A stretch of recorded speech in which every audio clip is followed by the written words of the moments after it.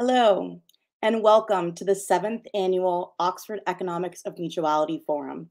This year, we'll be discussing the theme Confronting Systemic Crises Motivating, Equipping, and Partnering with Business to Deliver Practical Solutions.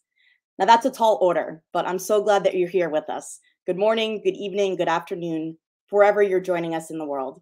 My name is Amanda Kathryn Hydro, and I'll be your guide through the next three days. And today we're really going to be discussing the role of business leaders.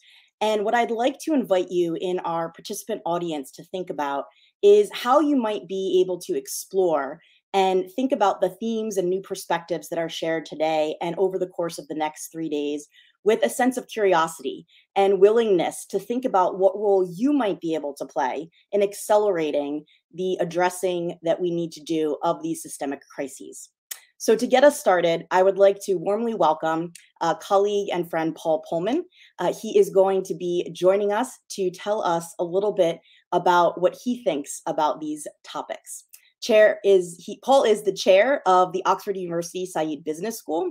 He's a business leader, a campaigner, well known to many of us in this audience, and the co-author of Net Positive. He's also the former CEO of Unilever. Paul, welcome to our stage, and I invite you to share your thoughts with us on this very important topic. Well, thank you, Amanda. And I'm actually calling from the Saïd Business School that uh, I just arrived this morning after dealing with the unpredictabilities of the UK rail, rail system. So I'm glad I made it. But I look forward to the next three days, and uh, because I believe it comes at a crucial time for humanity. We're especially falling short on some of the most important agendas we've set, and I'm referring specifically to the Sustainable Development Goals. Climate change and inequality are probably the most burning issues.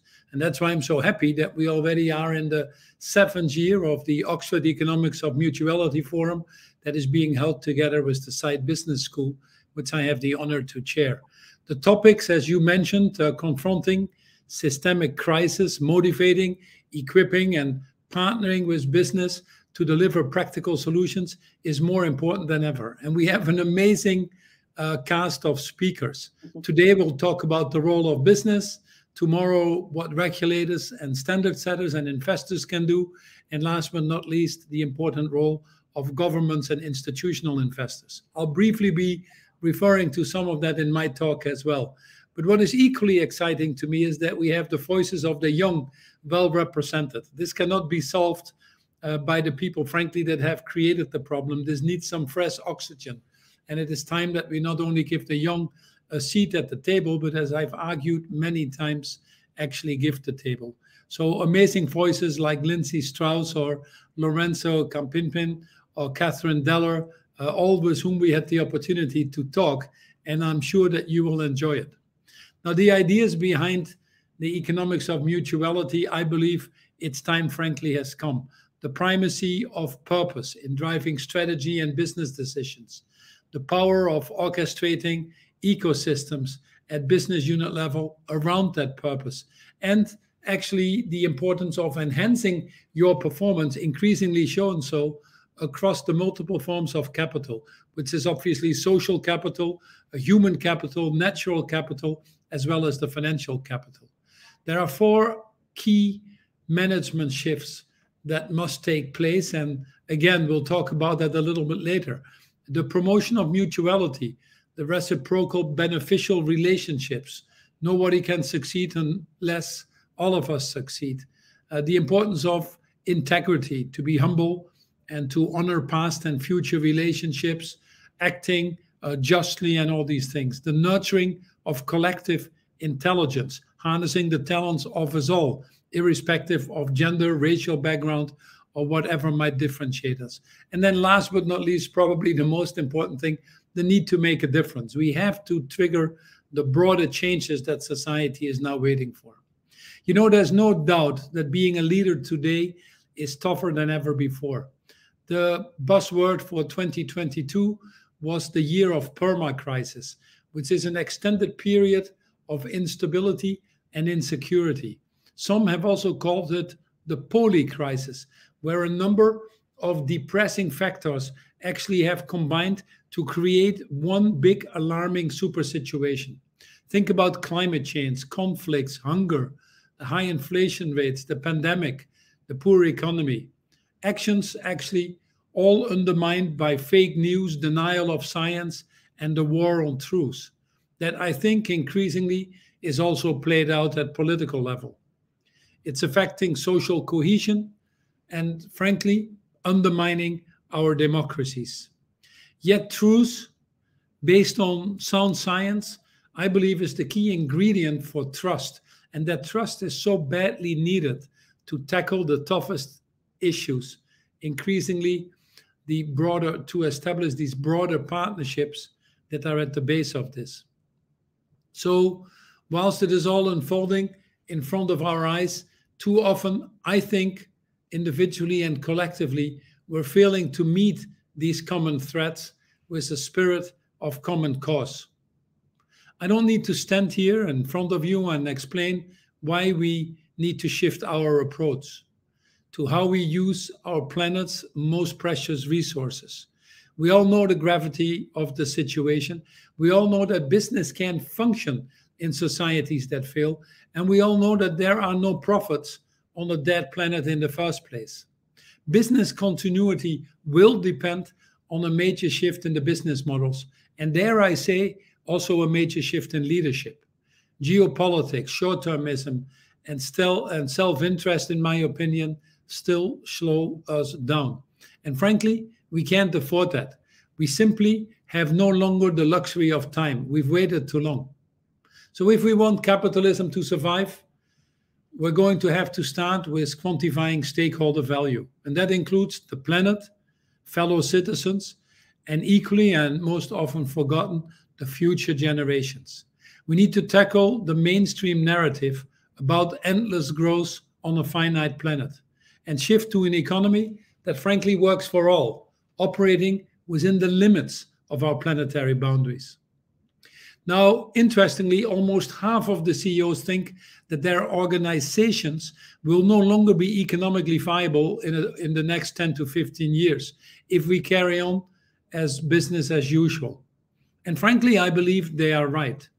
Staying on the trajectory as usual, for example, on climate change, projecting to well above 3 degrees global warming, is estimated to lead to an incremental cost of $178 trillion by 2070 alone. However, by all means possible, working together, staying around the one and a half degree warming, we could actually turn this into a $43 trillion benefit. With the cost of inaction now exceeding the cost of action, you also see that smart companies are starting to understand the enormous opportunities that this transition to a more sustainable and equitable world actually brings. And many are moving, not surprisingly, aided by clear signals, in my opinion, from the marketplace, increasingly under pressure from employees and consumers. In fact, we just run a study on employee satisfaction, and we found that two thirds of the employees want to work for companies that have values aligned with theirs. The same amount of employees want their companies to take responsibility for the broader impact in society. And if they see the companies failing in this respect, half of them are ready to quit. We call it conscious quitting. In fact, one third already has done this. This is a tremendous motivator on your workforce if you get it right. And not surprisingly, the citizens of the world are demanding this as well.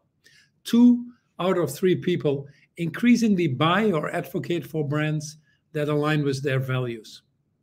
Now, leading companies and boards are actually moving. I'm very pleased to say that we've seen an exponential growth to over 4,000 companies now, about representing about 38 trillion dollars of our global economy that have made commitments to have science-based targets. These climate leaders are actually also increasingly shown to create more value for their shareholders. And not surprisingly, the financial market is starting to shift. 60% of the world's assets under management, about $70 trillion, are now committed to net zero emission targets. And finally, as you might not be surprised, surprised about, governments are equally stepping up. And despite the regretful war in, in the Ukraine that might have temporarily set us back short term, we're seeing actually an acceleration and a race to the top. With the uh, Inflation Reduction Act in the US, where $369 billion will unlock trillions of dollars on the private sector. The EU uh, Repower EU package, the Sustainability Act, which actually starts from a very strong Green Deal but moves it to higher levels again. The China 14th uh, five year plan that actually is quite progressive on renewable energy. And I could go on. In fact, every six seconds in this world somewhere, you'll have another piece of environmental legislation. So there's no doubt, in my opinion, that the train has left the station. The expectations on the role of and responsibilities, if you want to, of business are also changing.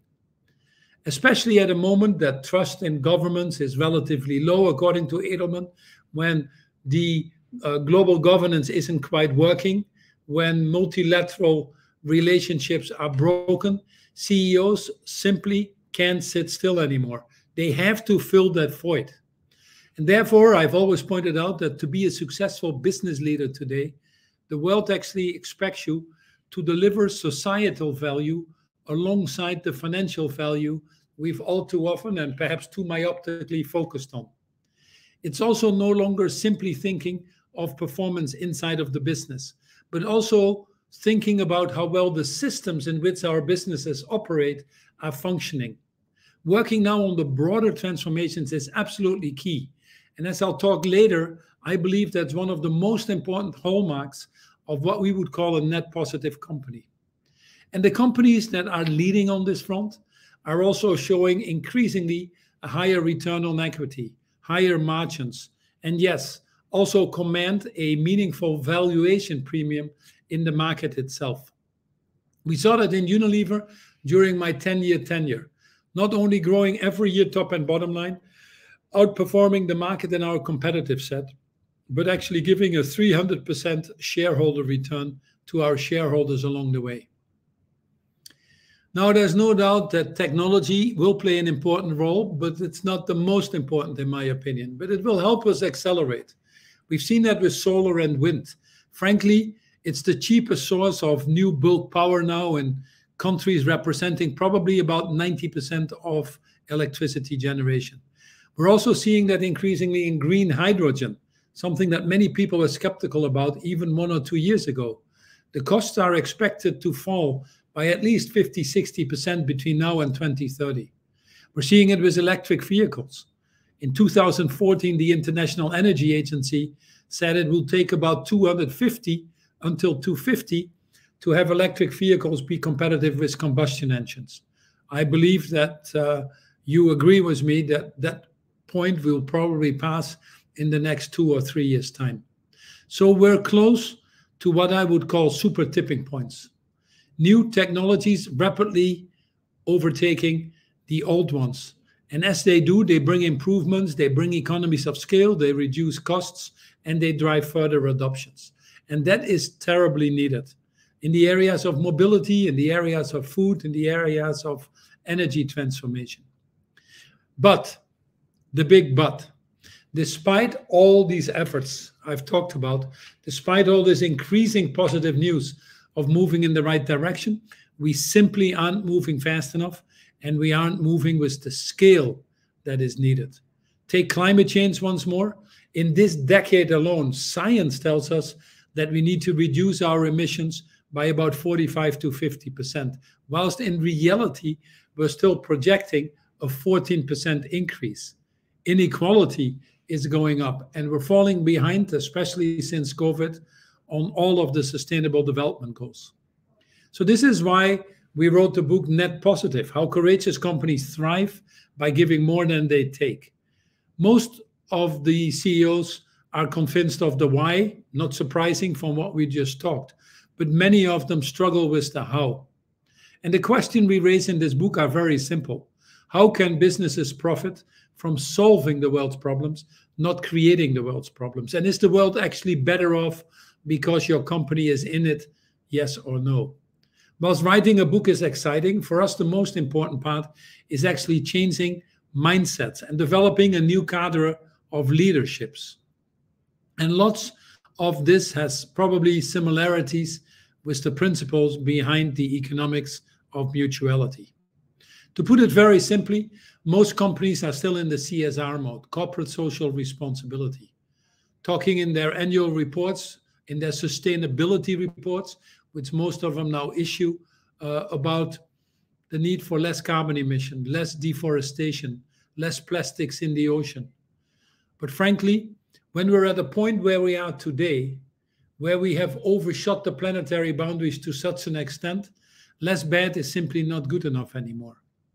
Simply to remind you that last year, World Overshoot Day was July 28th, which is the day that we use up more resources in this world than the world can actually replenish. Every day after, day after day, we're actually then starting to steal from future generations. So simply thinking less bad is not good enough anymore. I used to murder 10 people, now I only murder five people, doesn't make me a better murderer. We have to move from CSR, corporate social responsibility, to RSC, becoming responsible social corporations. And the only way to achieve that is to think restorative, reparative, regenerative. For us, net positive companies take first and foremost ownership of all the impacts and consequences in the world, intended or not. Many companies still think they can outsource their value chain and also outsource their responsibilities. That doesn't work anymore. Net positive companies operate for the long term benefit of business and society. They create a positive return for all of their stakeholders.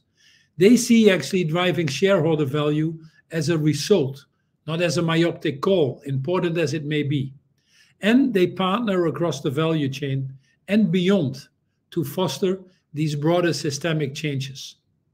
We've seen now already with our economic system that trying to optimize within a system that frankly isn't designed to deliver anymore is lunacy. We have to change and work on the forest instead of being myopically focused on working in the forest. Creating the high impact coalitions that are bringing together the private sector players with the non-profits, the academia, and the governments to get true breakthrough. Working with governments to put in the right frameworks, laws, and regulations, especially in the shifting geopolitical landscape. Our book is talking two chapters about these partnerships. One plus one is 11 partnerships within your industry and value chain, and it takes three to tango the partnerships with government, civil society to drive the broader systems changes. Ultimately, we will not get there if governments don't put the right signals, rules, regulations, and frameworks in place. This also means that companies have to spend more time on positive uh, advocacy, not just defending their own self interest.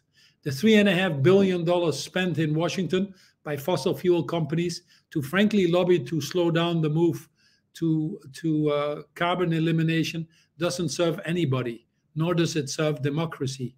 And yet, too many companies still have inconsistencies behind their own plans, what they talk about publicly, and what their trade associations actively advocate for.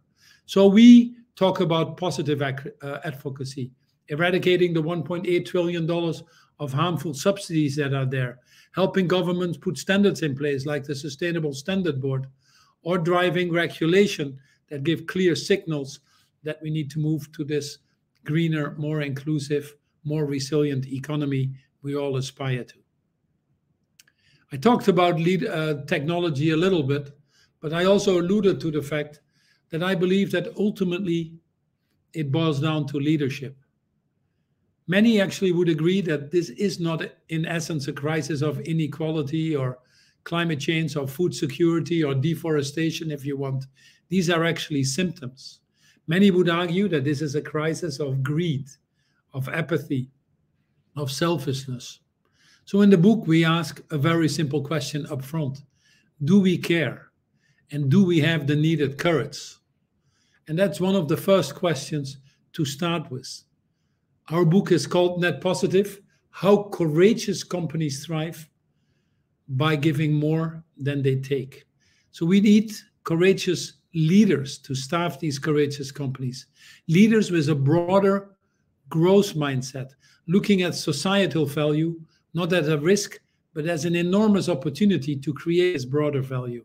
Leaders who look beyond the short termism and quarterly profits towards the long term value creation. Leaders who move away from competitive leadership and increasingly embrace collaborative leadership, especially when it concerns the future of humanity. Leaders that are able and willing to create these broader partnerships that at times might feel uncomfortable. And leaders that are able to make what I would call the tougher calls, the harder rights versus the easier wrongs. Now, for the interest of time, I won't go into it in detail, but what we call courageous leaders are leaders that take responsibility of their total impact, that set targets that science actually demands, not targets they can get away with. So they're playing to win, not playing not to lose. And finally, the courageous leaders embark on these transformational partnerships. So, how do we get there? Frankly, starts with ourselves. That's probably the first condition. The Iranian poet uh, Rumi in, in the 13th century said it very well when he said, Yesterday I was clever, so I wanted to change the world. Today I am wise, so I'm changing myself. What is our excuse for further delay? Is it denial? Is it selfishness? Or is it the expectation that if we wait, someone else will do it for us? I believe it's too late for a wish list. We need now a binding to do list to save both our own credibility as business people, but to also save the planet. Secondly, we must honor our common humanity. We all live in the same world. Self sufficiency, frankly, is an illusion. None of us can truly thrive until we all do, until we embrace the reality, in my opinion, of our connectiveness. And until we do that, we'll continue to bear the worst of its consequences. And finally, we must act in the service of future generations. The one stakeholder that, by definition, cannot be represented in the room and as a result is often forgotten. We may not have the control of when our time has come on this wonderful planet Earth, but we do have control on how we live it right now. Unfortunately, many of us do not realize this important fact until it's actually too late. Because what we do today is about tomorrow too. Our choices we make will affect people we never meet, but I believe who matter as much as we do. And we all see a glimpse of their faces, perhaps in our children, or in my case, in my grandchildren as well. Some will say, with all of this, it's too overwhelming. I'm just one person, too small to make a difference. So why bother? But you can remind yourself that positive change to get to these tipping points, I believe, is a nonlinear progress. Others will say it's impossible to turn things around, it's too late already. But don't you agree that impossible is not a fact? It's actually an attitude, only an attitude. And our attitudes are fully under our own control. Frankly, Giving up is giving in, and we don't have an alternative. We don't know in the end what is going to make the difference. We have to pull a lot of the strengths. But the systems do shift with a lot of little actions, and together they add up to a new world. Think about the last snowflake that causes the avalanche. Think about a small thing making a big difference, going to bed with a mosquito in the room. I believe that you're well poised to have a fantastic three days with an agenda that is exciting, looking at the different roles of business, regulators, investors, and policymakers, because ultimately we need all of us.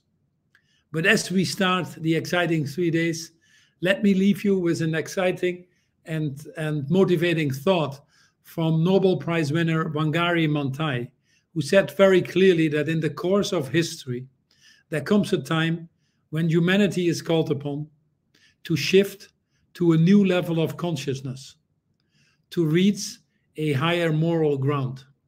Ladies and gentlemen, I believe that time is now. Enjoy the coming three days, but most importantly, enjoy putting it in practice. The world needs it. Your lives will be so much better for it, and the future generations will be incredibly grateful.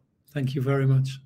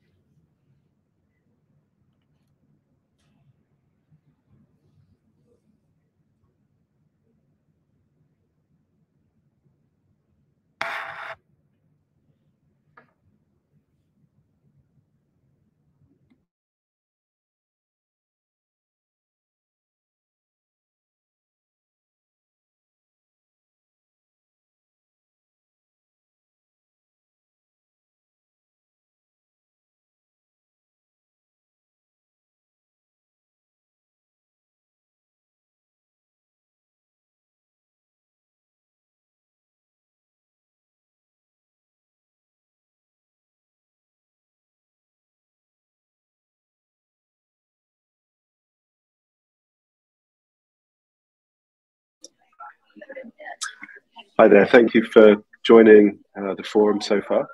Uh, we're just about to queue up um, the next session. Uh, thank you to Paul for, for sharing those insights with us. Um, I'd like to invite you to take a moment on the chat to say hello and where you're calling from. Um, and you can also take a look at the uh, speed networking button after the sessions today. There'll be an opportunity to connect with other uh, purpose-driven individuals attending the forum. Um, the next session will be starting shortly, so uh, please do hold on for that. Thank you so much, Nick. And as uh, Nick was mentioning, there is an opportunity to connect with fellow like minded business leaders and attendees of this conference during our speed networking session at the end of the forum. And so, in order to do that, uh, you're able to reach out to people on the Hopin platform by clicking on people and sending them a note. So, as we get ready to bring in our next speakers, um, I wanted to encourage you to reach out and meet folks from all around the world, as you were seeing, who are calling in and saying hello. Next up, we are going to enjoy a fireside chat with another of our co-hosts uh, of the forum, Colin Mayer. Uh, Colin is the former dean of Oxford University Saïd Business School and now a visiting Oxford professor. And he is going to be joined in conversation with uh, Paolo Lanzarotti, who is the CEO of Asahi Breweries Europe and International. So I'd like to welcome Paolo and Colin to our virtual stage.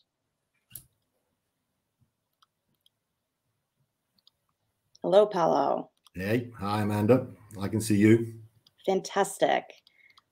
We are so glad that you are here to join us, and we will have Colin here in a moment. Happy to be here.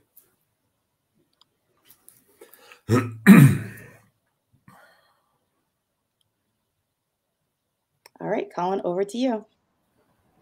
Thank you very much indeed, Amanda. Uh, Paolo, and thank you very much indeed for joining me this afternoon. It's great to have you with us. Um, I'd like to start off, Paolo, and ask you as CEO of Asahi Europe, how you came to the notion of corporate purpose as being important in running Asahi. Uh, hi, Colin. Thanks. Uh, thanks for the invitation. It's uh, it's a pleasure to be with you again. Um, look, it started uh, quite honestly with um, a point of curiosity. Uh, a lot of conversations around purpose in the in the world of business, inspirational stories. We've just heard from Paul, the, the Unilever story, and I went on a bit of a, a journey of discovery uh, for myself. Actually, coming to knock on your door sometime at the back of 2019 and asking you to talk to me about purpose. And I recall. Um, with a smile on my face uh, the question you asked me, which was, "What is the problem that you're trying to solve profit, profitably for the world, Paolo?" And I recall uh, thinking and saying the words, knowing that the answer was wrong. Uh, all I could, all I could enunciate was, "We, you know, we're here to make great beer." and build great brands. And uh, you very politely pointed out that that was an objective, that was not an overarching purpose. I then went away and, frankly and quite honestly, parked the whole uh, issue until uh, I guess um, April, May, June of 2020. Uh, we're in a world with a pandemic around us now. We'd realized by then that that actually, yeah, things were difficult, but we we we wanted as a business to start looking forward and understand how things would change, uh, customer and consumer dynamics, uh, potential competitive landscape, etc., etc. So we did what businesses do. We called in uh, some consultants and, uh, and had them help us think about the future. And we, we figured, oh, let's do purpose while we're at it. And uh, there was a there was a stream of work in there, a three week stream of work that you know theoretically would have got us to a, a purpose statement. It became very very evident very very quickly that that wasn't going to be a good outcome. So again, we parked it and focused on what we would do. But we finished that process with um with sort of an aching, uh, longing feeling for a, a greater why. So back end of 21, um, we we actually mobilized a, a, a, sort of a broad-based team in the in the business, senior leaders, uh, both above market but also in the countries. I operate a, a business, or I have the the pleasure of leading a business that, that operates across Europe, but actually globally. So we mobilize folks from countries, folks from the business, the functions, uh, leaders, but also folks deep in the business to, to, to, actually start to, to first of all understand why we wanted a greater why. And that resulted after uh, four or five months of, of debate and conversation um, in the rediscovery of, of, of our greater purpose, and that's to create meaningful connections. Um, and you know, what it's given us is uh, is a is a higher order lens to to basically start to look at decisions through. Okay, uh, that that that's great. Now, can you just tell us how this notion of meaningful connections how how is it really connected with your business? What what's changed? Well, you know, we're we're a brewer. Uh, that's what we do. We make we make beer, but uh, you know, ultimately, we we historically have connected people down the pub or in the bar or at the restaurant uh, in a social setting uh, uh, to to bring people together to have conversations to to engage with each other to to agree sometimes to disagree to debate and discuss um, that's not changed. What's changed around us is the, the world we live in and the context through which connections happen. Arguably, we're in a we're in a much more hyper connected world, but those connections are less deep. Uh, they're more they're more fickle, um, and so we believe that the fundamental purpose of, of, of, our existence, bringing people together, is still relevant, more relevant today than, than probably ever before, given the fragility of the uh, of the world around us, um, and and therefore this this enablement of creation of belonging is uh, is is is why we think that uh, that this particular purpose for us is, uh, is is is suitable.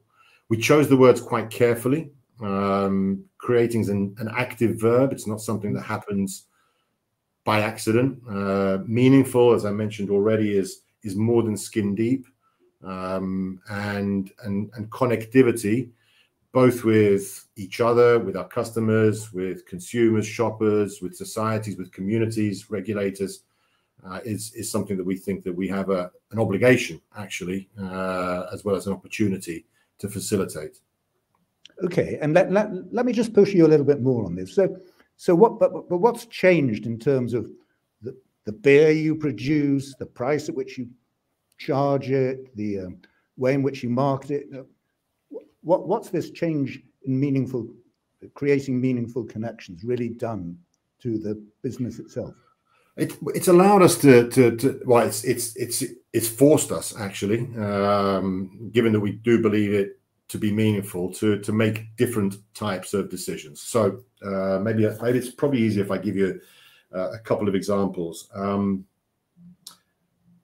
we uh, we produce about 45 million hectoliters of beer. So that's about 9 billion with a B uh, half liter servings. Um, we operate a business with about 10,000 people, but clearly the number of interactions we have through our brands is far, far, far bigger than the number of interactions we have talking to each other inside the business. mm-hmm. 9 billion touch points versus versus 11,000 touch points. So making our purpose come to life through our brands is, we believe, uh, critical to not just making the brands more relevant and strong in the minds of consumers, but ultimately uh, helping build those connections. One of the biggest brands that we have uh, in, in our European business is a brand called Żubra, which means bison in Polish. It's one of our Polish brands. Historically, that's been it's a mainstream brand. It's a, you know for every man or woman, everyday enjoyment. Um, it's historically it's been it's been marketed with relatively traditional marketing uh, positionings. Uh, buy buy a second or third beer, potentially you get a code, potentially win a car. The team in Poland took our um, our purpose statement of creating meaningful connections, applied it through the, the, the lens of what we call Legacy 2030, which is our sustainability uh, program, um, and, uh, and, and essentially repositioned the brand to to to be closer to nature. Uh, the bison, the żubra, actually does roam in forests in near Białystok in in Poland. It's an endangered species. It's species in an endangered area. It's the strong animal in the forest and is protective of the smaller, also endangered species. And the guys and girls basically came up with a with a with a with a positioning that, that, that talked about the bison being protective of, of, of nature, ultimately culminating in a campaign that talked about expanding the physical uh, space in which the, the bison roams and using that as a communication platform. So instead of buy three beers, um, win a potentially win a car campaign, uh, we ran a campaign that talked about the, the, the importance of nature, the importance of uh, protecting nature, and actually we sold more beer. So the application of of the of the uh, of our purpose resulted in a better business outcome uh, a more relevant business outcome for consumers and, and ultimately a better business outcome from a from a bottom line perspective. Okay. Now that i'm sure there are lots of trade-offs you have to make in delivering your purpose. Can, can you give some examples of the trade-offs you've had to make yeah, I mean, one of one of the one of the early lessons that we learned was don't shy away from them because um, folks can see uh, the the uh, the lack of authenticity when you do shy away from them uh, from a, from a mile away. I'll give you a couple of examples. Um, in some of our Central European markets, we sell beer in plastic bottles in PET um, in some of our markets, uh, and, and, clearly plastic is you know a problem in the world. We uh, both in, in, terms of how it's produced, but also in terms of the impact it has uh, as, a, as a product of waste. Um, in one of our markets, uh, we had a very easy decision to make. It was less than three percent of our total um, revenue, and so we decided to exit that particular category, uh, hoping that our our example would uh, would encourage other brewers to do likewise. Uh, unfortunately, it didn't, so somebody else occupied that space, but that's okay. That's their decision. In another one of our European markets, Romania, beer in PET is about 40% of our business. So the trade off there is pretty simple uh, exit and have no business overnight, or manage the, the, the process over a number of years with a clear path to a different future, whether that's a different type of PET, uh, recycled uh, using uh, non-virgin non, non-virgin plastic, etc., etc. The point I'm trying to make, I guess, is uh, the trade-off was stay in business um, and be authentic with with the business around the need to continue to have a business. Otherwise, you can't be purposeful with it. The other one that was a little bit closer to home in terms of time was the trade-off between again keeping our breweries running potentially uh, after the uh, the invasion of Ukraine by uh, by Russia and the the stress that put on supply chains and energy supply, particularly here in Central Europe, um, and our ambition towards becoming carbon neutral uh, uh, over the the next uh, well by by 2050. So we made huge progress in the in scope one and scope two uh, towards scope one, scope two, scope one and scope two neutrality. Um, we've done some wonderful work with uh, virtual power purchase agreements, the application of solar panels, uh, process re-engineering, etc., etc. And we've been talking about that internally and externally and getting people excited. Then the war started, energy became a problem, and we were faced with the choice of having energy or not having energy, standby energy. So we took a decision to to reconvert some of our on-site boilers uh, to to burn fossil fuel um, versus gas. Now that that moves us in the opposite direction in which we want to go from a carbon neutrality point of view.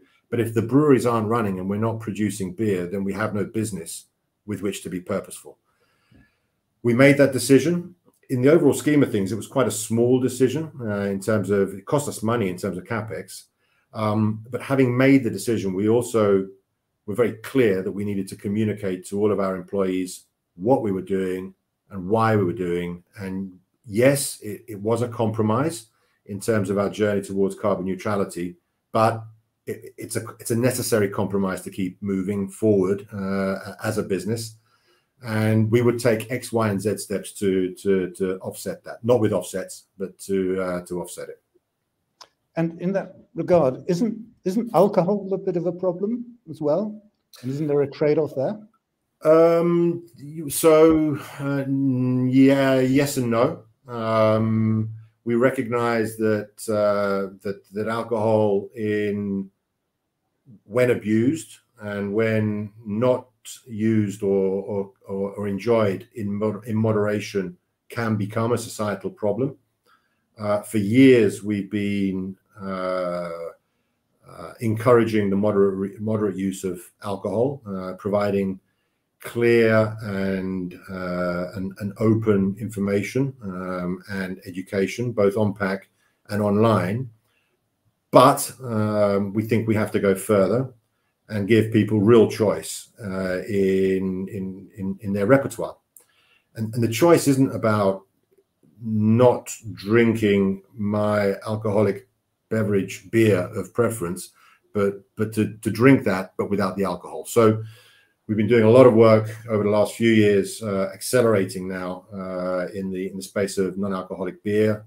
Uh, we actually over-index in non-alcoholic beer versus our fair share of beer. So we have a, around about a 23 share uh, across our markets here in Europe. But we have a 36 share of non-alcoholic beer.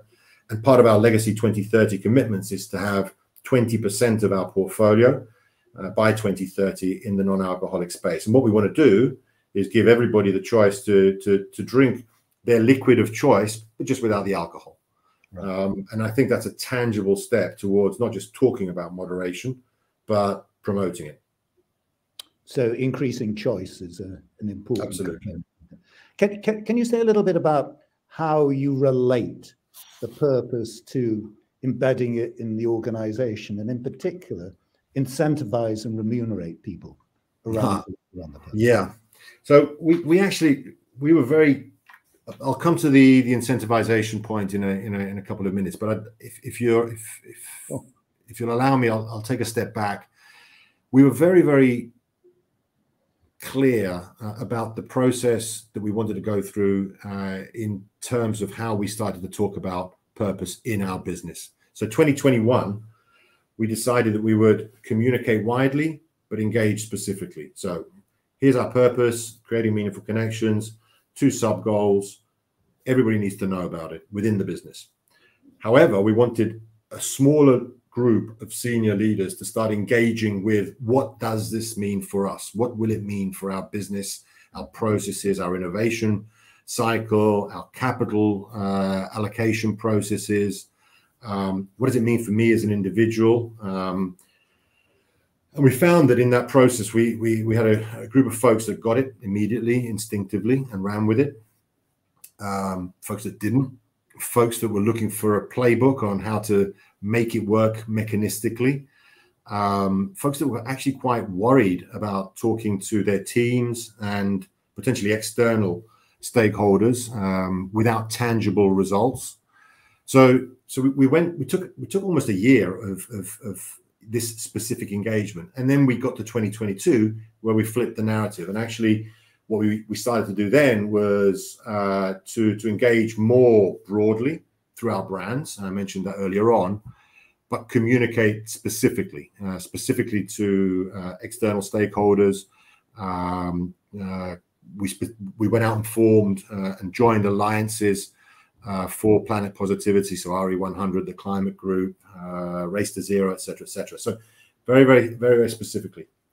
Um, the point around remuneration and incentivization for me is absolutely critical. Um, we've actually been working with your good self uh, and the uh, the economics of mutuality to to make this come to life. Um, I had a for three or four years now. We've been sending cohorts of uh, younger leaders to uh, to One Young World, and one of these uh, groups came back and said, "Paolo, you know, if you want this to really come to life, if you want sustainability to be at the heart of of what we do and not just something on the periphery of, uh, of, what we do, then you need to put uh, your money where your mouth is and, and, and, and change the incentive system. Two years later, uh, we have just announced that we are introducing a new long-term incentive uh, mechanic that goes beyond just incentivizing our senior leaders to deliver profit, EBITDA, but but profit as well as sustainable EBITDA. And essentially, what we've done, Colin, is we've taken we've we, we've we're costing in the, the potential future cost of externality, specifically PET and carbon, into our current base, notwithstanding the fact that those costs don't actually exist. And then we look at the sustainable EBITDA versus the actual EBITDA, and we see, you know, does would this still make sense in a world where there was a carbon tax, there was a PET tax, uh, in some shape or form? and would we make the same decision and ultimately we will we we are incentivizing everybody from me across the the, the i guess top 200 leaders in the business to increase the, the weight of sustainable EBITDA to, to, to EBITDA. Now, when you touch people's wallets, you need to be as objective, clear, and transparent as, as possible.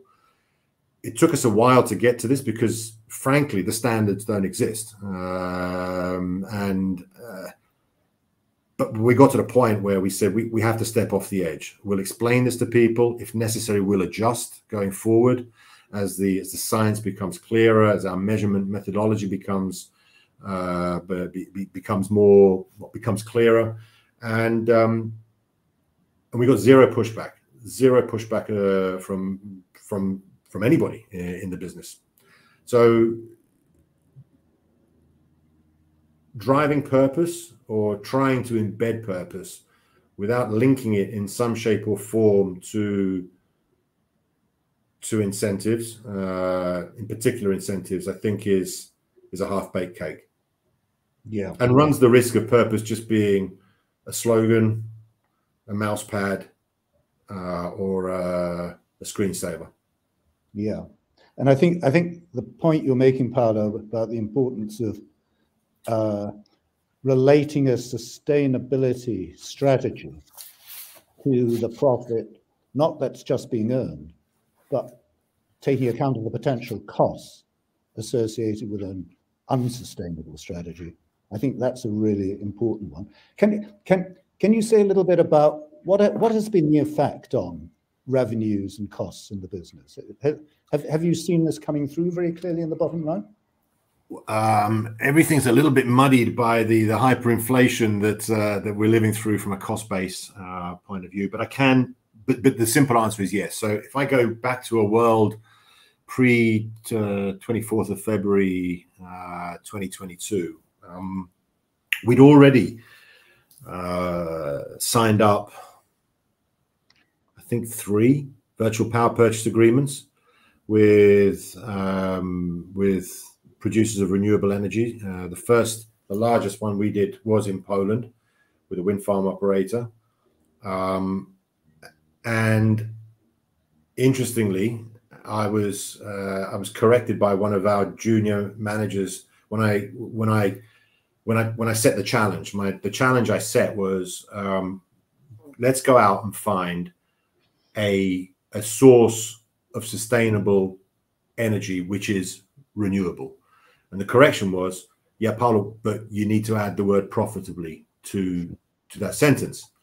And lo and behold, that's what the guys and girls did. So our blended cost of energy coming from that VPPA was actually lower than the the cost of energy that we had been paying through uh, through through fossil fuels. That's all become murky now because of the war in Ukraine and the the acceleration of which is a good thing of uh, of uh, sustainable energy energy sources. But yeah, we we see that coming through. The Żubr example earlier on, we we sold as much beer talking about nature uh, in uh, in in Poland last year on the Żubr brand.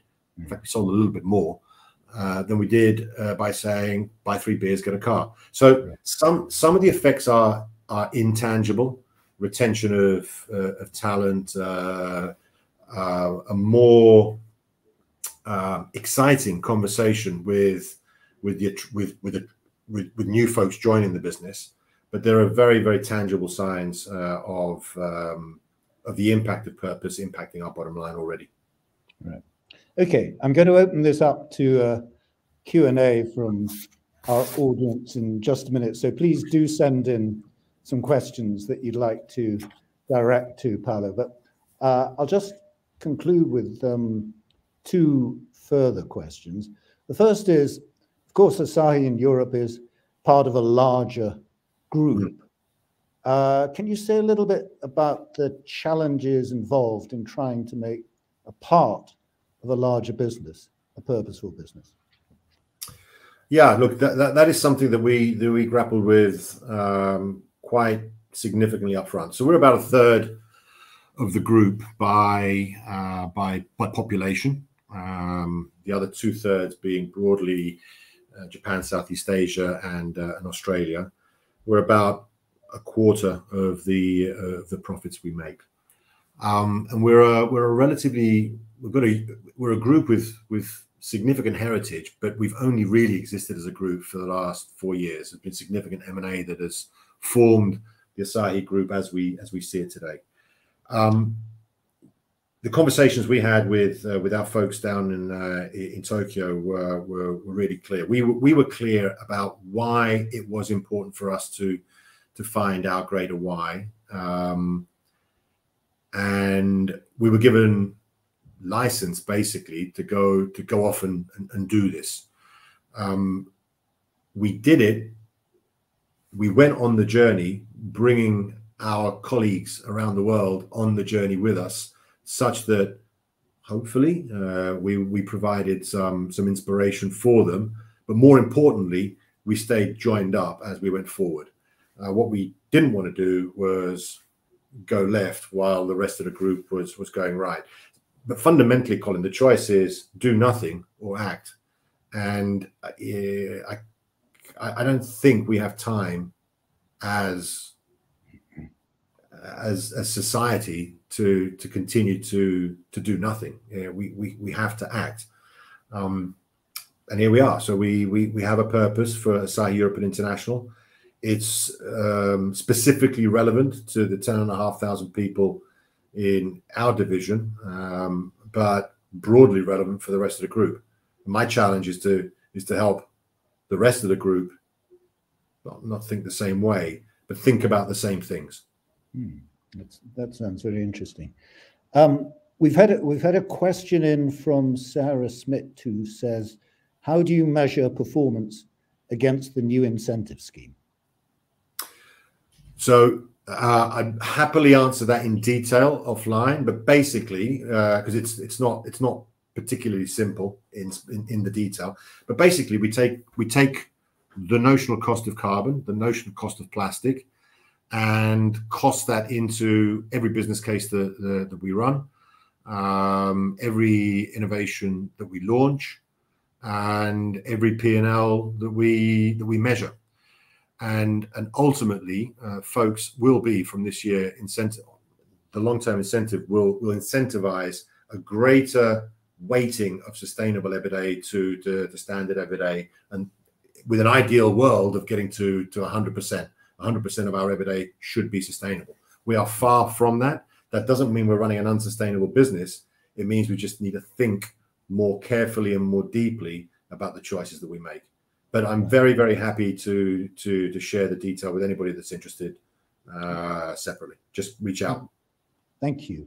Uh, a second one from Paula Murphy, who says, Paolo, what did you consider your biggest challenge in gaining buy-in for a truly embedding purpose into business practice? Uh, look, I think the word impatience comes to springs to mind. I mean, everybody everybody wants to get things done quickly, lock load, and move on to the next thing.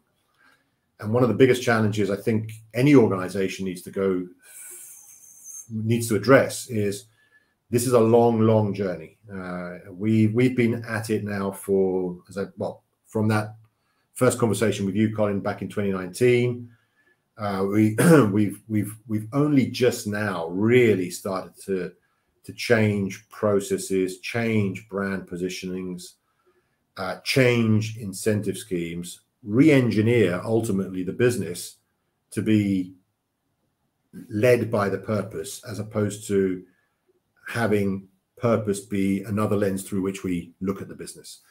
So this takes time, and anything that takes time um, runs the risk of not being flavor of the month uh, after after a while. So keeping the momentum going, building momentum in the first place, keeping the momentum going, and and and ensuring that literally every conversation we have is brought back to our greater why. It's easier said than done. Um, another challenge is, uh, you know, there are people that just struggle to to to get it. You know, why we've been doing this for a 180 years, Paolo. Why why why do we need to change what we're doing? Why why why are you talking about all this stuff? And I think it's important to to engage. It's important to um, educate. It's important to give space, but ultimately, it's important to to be clear about this is the business that we have and this is the reason why we think it's important. And if it's not important to you then maybe you need to find another business to be in. So those are difficult conversations clearly uh, but uh, but that's that's also for sure another challenge and that challenge is addressed by by creating a groundswell of um, of believers. And as you st- as we started the process, it was wonderfully surprising how many people actually uh, turned around and said, "Thank God, at last, let's get going." Yeah. Okay. Uh, final question from the audience. Jeremy Clark asks, beyond the adjusted P&L you described, have you explored new metrics with a view to changing behavior for example, average percentage of beer sold, percentage of energy from low carbon sources, etc. Yeah, so we did, we do. So those, for me, those are detailed KPIs that are important in in the mechanics of of running the business. Um, so if, if you're an engineer uh, in, in one of the plants, if you're a, a plant manager, if you're a, an innovation specialist, then absolutely those those are those are those are input KPIs that, that we have. I, however, think that it's more important to to to incentivize at the higher order level and make it simple for people to get their heads around. The greater the detail you get into from a from a KPI point of view, which is important, don't get me wrong, from a from a, a the mechanics of running the business uh, point of view, the greater the chance of people of losing people in, in the journey. So simple messages repeated uh, over and over again with transparently and with consistency have a higher than average probability of landing. And that's why we've chosen the higher order um, metric of sustainable EBITDA as I've described it to to be the the drive or the change in our incentive uh, in our incentive scheme. Okay, and one one final question from me: what what's needed to get more business leaders to do what you've done? I think everybody needs to go on a personal journey. Um, uh, there's definitely a need for the right tone from the top, from from the leader, um, because that will help enable the the pent up uh, passion, I think, for uh, for for purpose in business. I, I think the other thing is uh, don't be disingenuous. Don't be disingenuous. Um, disassociating the word profit from purpose is disingenuous. We have to solve or help solve the problems of the world in business through business profitably. If we don't, we won't have a business to, to be a vehicle for helping with those problems.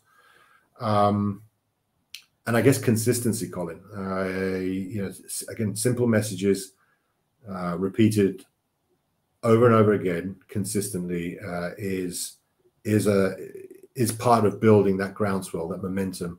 That once you have it, can become a true um, platform. I'm not sure momentum can be a platform, but I think you know you know what I mean for change in the business and of the business. Yeah. Paolo Lanzarotti, thank you so much for a really wonderful conversation. Thank you. Thank you, Colin. I hope everybody has a, a good rest of the uh, of, what is it? Three days, yeah. yes, thank you so much. Thank you, Colin and Paolo uh, really giving us some messages to your point there, Paolo. Some simple messages that sometimes are hard to do, but to remind us of what we need to do on this journey. So thank you so much. We appreciate having you both here and for sharing with us uh, what your journey has looked like. I'd next like to welcome one of our MBA uh, students to the stage. Uh, this is going to be a keynote from Lindsay Strouse. Uh, not only is she an Oxford MBA student, but she is a formal global partner marketing lead at Google for Startups uh, and we're excited to have her deliver a keynote. Welcome to the stage, Lindsay. Thank you so much for having me and for you all for inviting me to speak with you today. Uh, as Amanda mentioned, much of my career has been dedicated to building and sharing the stories of technology that makes life easier for others.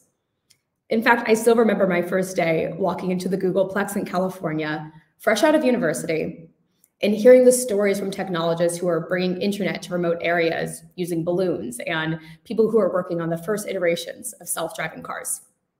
The excitement amongst us was palpable because we were being told that we could in fact dream about what the future looks like and that it was in our hands to build it.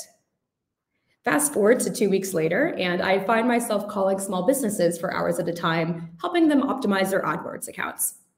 Reasonable work, to be fair, but not quite the kind of impact that I had in mind. Now, over the years, I worked my way up and through the company to discover jobs more closely aligned with my own mission of helping more people live with happiness, health, and ease.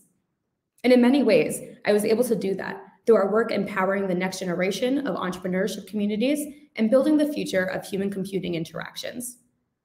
But soon enough, there was a question that began looming in my head and a feeling that arose in my gut who were we really serving and why?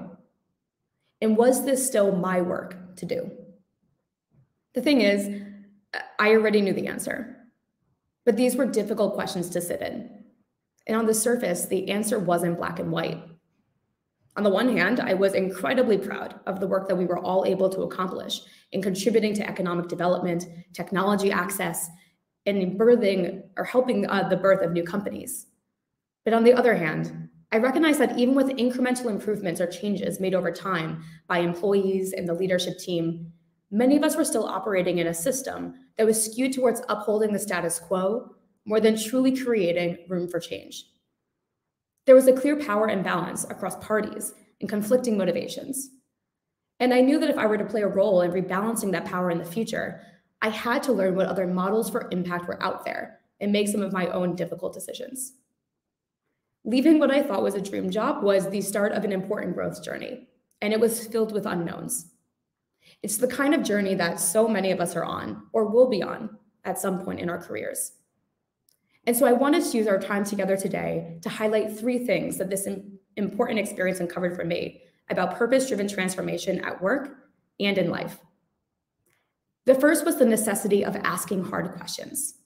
Next, using technology in a human centric way for positive change. And last, why it's important to learn through new mistakes rather than old ones. So let's talk purpose. We've all heard the buzzwords and the statistics the great resignation, the great reshuffle. In its State of the Global Workplace 2022 report, Gallup found that 60% of the world's workers are emotionally detached at work and 19% are miserable. In fact, it's estimated that actively disengaged employees cost $7.8 trillion to companies globally in lost productivity. That's about 11% of global GDP. Now, on the flip side, business units with engaged workers have 23% higher profit compared with business units with miserable workers. So, why am I sharing these statistics with you now? I'm sharing it because it confirmed that I'm not alone in what I experienced. There are thousands more like me at your company, on your payroll, maybe even attending this forum today. And they're wondering what could be. Maybe you're wondering what could be too. And to that, I say follow your curiosity. Ask difficult questions. Really talk and listen to the people who continue to dream about how the world could be, even if it looks different to the world that you know now. As business leaders, we're constantly primed to think about how customer experience impacts the bottom line. What if I told you that employee experience has the potential to do the same? One study showed that mission driven workers who feel connected to the purpose of their company and their jobs are 54% more likely to stay at their company for five years and 30% more likely to turn into high performers compared to those just showing up for a paycheck. Now, one group that tried this out was a US based healthcare company when they saw that employee engagement was waning, they prototyped an app with which people could explore their values and purpose and make workplace connections to enable the pursuit of those aims. If you have the power today to incorporate these changes into your business, your employees will thank you for it. And if you don't have that power or you feel unable to use it, know that more of us will leave and we will build the future ourselves. In the long run, that will push us all to think better and to do better even if our email domain, domains change in the process. Now, this brings me to my second point technology. I'm more bullish than ever about the future of technology as an enabling mechanism to address the deep challenges facing our planet and people, as long as we actually keep planet and people at the center. Now, this requires a shift from product centric thinking to human centered design. Not only is this morally a great thing to do, it helps expand your company's impact by building corporate social responsibility directly into the DNA of your business, ultimately creating new platforms for growth. Now, when I left Google, I didn't quite know how I would spend my career break. In a way, life chose for me when a war broke out in Ukraine on February 24th last year. Some friends and I were discussing ways that we could help and decided to build a safe housing network for displaced people in need of emergency housing. The number of refugees leaving the country was more than aid organizations alone could handle, and only a small portion of refugees had reasonable access to funds to pay for housing in a new location. And so, with thousands of people around the world looking for ways to help, and even more in need, we turned to community driven technology design. Now, we did this by building a large community called Find a Host that matched 1,300 families to safe housing in 16 countries through a vetted work through a netted list of on-network hosts and partner organizations, enabled through a globally distributed volunteer network and AI systems. Now, all in all, we were a drop in the bucket in the realm of humanitarian support. But as technology is shifting our perspectives solely to the lens of those most in need, we were able to learn a few important things about how to build more proactively for the, for the future, as opposed to waiting for the next disaster to strike. The first was the value of proactively investing in communities and platforms as a way to gain perspective in the areas where we had gaps, smartly utilize our resources, and most importantly, to build trust. These built in networks range from high touch expert groups that gave us critical insights to more scaled online communities that helped us communicate quickly and efficiently. These partners were imperative for reducing risk and maximizing impact. We learned from humanitarian experts about how to reduce the risk of human trafficking and abuse. We worked with notable NGOs such as CORE about how to build capacity and partnered with dozens of other grassroots organizers as well as global platforms such as Wunderflats and Airbnb to make it easier for those in need to get help through their generous contributions. These partnerships also showed us how technology can facilitate mutual value creation. Each organization had specific growth goals unique to them, whether it was brand, product engagement, or future customers. But there was also a shared purpose to help people feel safe. And we were all able to use this North Star to design products and services in support of that mission. But perhaps most importantly, experimenting with these new technologies and systems revealed to us an astounding gap between what has been and what could be. Throughout conversations with our hosts, I kept hearing the same thing. I don't know why I didn't think to do this before. But now that I have done it once, I know I can do it again. We have the ability to help. Now, this made a light bulb go off for me. Change can happen in so many ways, but businesses are uniquely positioned to create platforms that accelerate positive shifts in consumer behavior that maybe wouldn't have existed before. I'll give you an example. I mentioned Airbnb earlier as one of the partners that we worked with to provide emergency housing aid. This is a company that was once known for helping budget travelers stay in exotic locations around the world. They could have very easily stayed focused on high margin properties or locations. But over the years, they recognized a shift in how people were traveling Many were feeling disconnected. So they evolved their purpose to create a world where anyone can feel like they belong anywhere. This change naturally made room to build an arm of the company dedicated to sharing space and resources in times of need. With thousands of existing and now new hosts supporting displaced families from Syria, Afghanistan, Ukraine, Turkey, and beyond.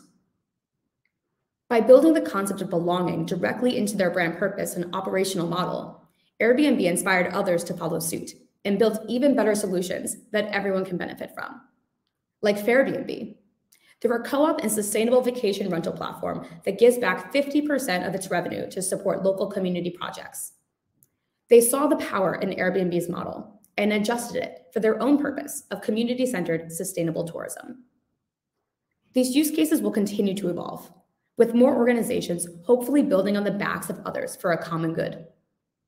And as this trend go- grows, it's imperative that more companies build innovations and impact driven mental models directly into their core business and not just use it as a CSR play when tragedy strikes. Of course, identifying clear impact goals and building it into your core business is not without risks. Things can go wrong and mistakes will certainly happen. But what is the alternative? As we've seen through today's waning workforce engagement numbers, growing inequality, and accelerating climate disasters, things are already going very wrong for many people. Which brings me to my last point. If your employees are asking for new solutions and your customers are becoming more vulnerable due to externalities, why are we operating in the same way and making the same mistakes? The time is now to look beyond organizational borders and systematically think about cooperative systems for future action. Building more personal and flexible work policies, bringing in new faces of leadership, and investing in new open platforms for new ideas to develop is uncharted territory for most. We'll make mistakes, but at least these mistakes will be done in earnest, and it will be something that we can learn from. There no longer is an alternative. These are, of course, audacious goals with no clear path to success. And so before I go, I'd like to leave you with some hard questions. The same questions that me and so many of my classmates are asking as we decide where to take our own careers next. What are you pretending not to know about your business or the market in which you operate and how it impacts the world? What would it take for you to face that challenge? And what are you willing to give up? Thank you so much for your time, and I hope we'll get the chance to co-design solutions for a happier, healthier, and more equitable future soon. Thank you so much, Lindsay. We really enjoyed hearing from you. Very thought-provoking, and I think fantastic questions for all of us to be considering. Uh, thank you for joining us. Next up, I would like to welcome our panel discussion for today to the stage. Uh, today, we are going to be moderated uh, through this conversation by Jay Jakub. He is the Chief of Staff for Economics of Mutuality and also the Director of the Economics of Mutuality Foundation. He is going to be joined by Mette Morsing, who is the head of PRME, which is the Principles of Responsible Management Education for the UN Global Compact. Also, Ikdeep Singh, who is the global president of pet nutrition for Mars Inc., as well as Morten. I have to find you on my screen here. There you are, Morten. Uh, when we have big panels, I have more buttons I have to click. Uh, Morten is the executive vice president of Novozymes. And then uh, also rounding out our panel is going to be Chris Herschend, who is the chair of Herschend Family Entertainment. And I, this is a very dynamic panel and look forward to hearing all of your perspectives. Over to you, Jay. Thank you, Amanda, and welcome panel. My name is Jay Jakub, as uh, Amanda pointed out, from the Economics of Mutuality Organization. Welcome everyone to our forum panel discussion on how to center business on mutual value creation. So today we've already heard from some luminaries in this space, uh, older ones and newer ones as well. Former Unilever CEO Paul Polman, Asahi Breweries CEO Paolo Lanzarotti, uh, Professor Colin Mayer from Oxford, our longtime partner, and former Google executive and Oxford MBA student Lindsay Strouse, who you just heard from, on today's theme, which is the role of business leaders in driving systemic transformation in the face of resistance to change. So, we're now going to build on what's come before us through a discussion with four distinguished panelists that come from very different sectors of the economy. All are highly influential in their professions and have reputations for being purpose driven. Uh, I think Amanda has given you their titles, but I'd just like to tell you a little bit more about each of them as we uh, prepare to dive into the discussion. So, first, we have Ikdeep Singh, who's an accomplished business leader with over two decades of experience in the consumer goods industry. Ikdeep is the global president of Mars Pet Nutrition, which has a portfolio of some of the world's largest pet food brands, such as Pedigree, Whiskas, Sheba, and Cesar. He leads the strategy for growing the portfolio in over 50 markets, uh, ensuring access to quality nutrition for almost 400 million with an M pets around the world. Ikdeep previously served as president with the L'Oreal Group and was also at Procter & Gamble before that. So welcome, Ikdeep. Next, we have Professor Mette Morsing, who leads the United Nations Global Compact's Principles for Responsible Management Education organization called PRME, which is our new partner at the Economics of Mutuality. PRME has a mandate to transform management education to teach responsible and purpose driven approaches to business. And there are almost a thousand university level business and management schools in the PRME network, and also some 16,000 corporations in the network of the UN Global Compact. Today, PRME is the UN's largest global initiative on sustainability in leadership education for the Sustainable Development Goals. Very happy to have you with us, Mette. Next, we have Chris Herschend, who is the third generation owner and chairman of the board of his family's entertainment business which is the largest privately held company in its industry. In North America, they own and operate theme parks, water parks, aquariums, Jeep adventure tours, uh, touring shows, and even the Harlem Globetrotters basketball team, if I'm not mistaken. Chris's company employs over 12,000 and entertains some 10 million guests annually. I've gotten to know Chris and his company over the years, and they're particularly noteworthy in the areas of world class governance that reaches a standard far above most other family businesses. So I hope Chris will talk a little bit about that today. And also a meticulous approach to defining and promulgating their employee culture. So welcome, Chris. And finally, we have Morten Enggaard Rasmussen, who's the Executive Vice President of People, Sustainability, and Brand at Novozymes, which is a biotech, industrial enzymes, and biopharma ingredients company. Morten has the distinction of having most of the purpose related functions of Novozymes in his own portfolio, which we'll address later in our panel discussion. He previously served in senior positions at Vestas, a green energy manufacturer of wind turbines in the Asia Pacific and China markets. Morten has been described by his CEO, Ester Baiget, as having, quote, a profound understanding of the meaning and purpose of sustainability in driving business performance, making him an ideal addition to today's panel. So thank you for joining us, Morten. So without further ado, let's get right into the conversation. And I would really like to uh, encourage our panelists to feel free to jump in at any time and to question one another if you're so moved or ask follow-up questions. So do we get to fight over who gets to hire Lindsay first? yeah, that's right. I'm sure she'll be sending out resumes after uh, after this call. She should anyway. There's so, a lot of chatter, at least. I'm sorry. There's a lot of chit chat in the chat room. I can see already on Lindsay, so that's good. Uh, yes, yes, indeed. She was terrific. So let's start with you, Ikdeep. So, what's your vision of the role of Mars Pet Nutrition? Uh, what should it be playing in the world, increasingly beset by crises? And what are the biggest challenges you face on executing that vision? Well, first, Jay, thank you so much for having me here. It's really an honor uh, and a privilege to be here.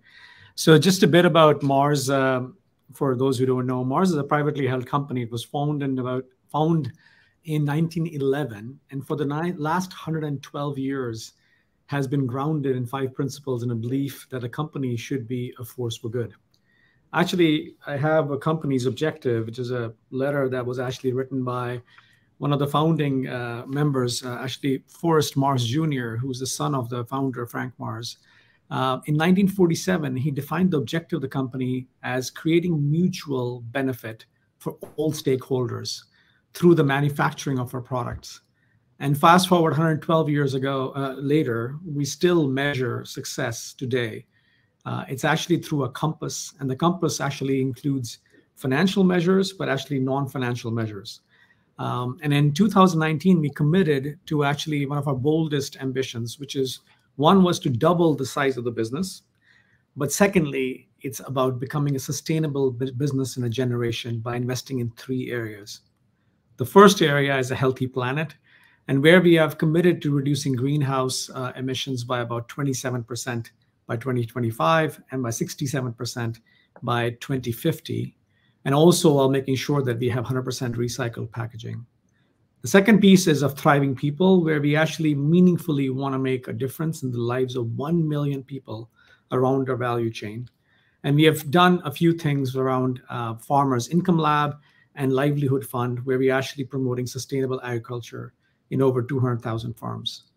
And finally, it's about nourishing well being, providing people with access to information and products they need to stay healthy. Uh, but beyond products for people, we also serve half of the world's pets. So if you look at that, that's kind of like our purpose, and that's a company that is anchored in a very powerful belief that the com- a company should be a force for good.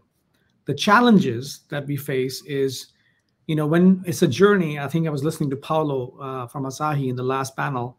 And when you are purpose driven, the journey requires a big change in mindset. It requires patience uh, to think long term. And we are lucky that we are privately held. And as a result of that, we think in generations and not in quarters. And as a result of that, we always take a long term view of what we really want to achieve as a as overall a business objective. And the second thing is we have to remain anchored in our purpose and belief. Finally, while it's it's it's easy to kind of you know get uh, into the short term uh, look uh, into the ROIs and not really see the ROI for purpose initiatives.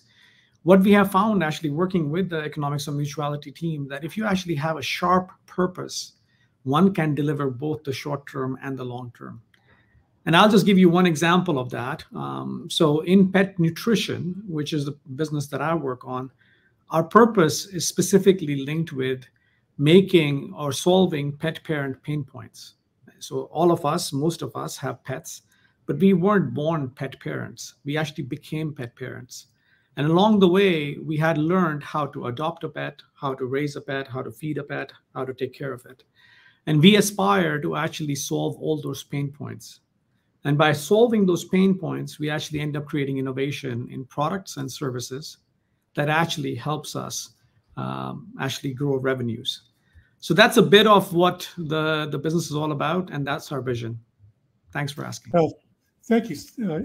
I just wanted to ask a quick follow-up question. So you talked about a change of mindset being critically important. So is this uh, ecosystem pain point uh, approach that you've adopted, is that part of this change of mindset rather than looking just internally, uh, actually looking from a purpose perspective externally at problems you can solve of others?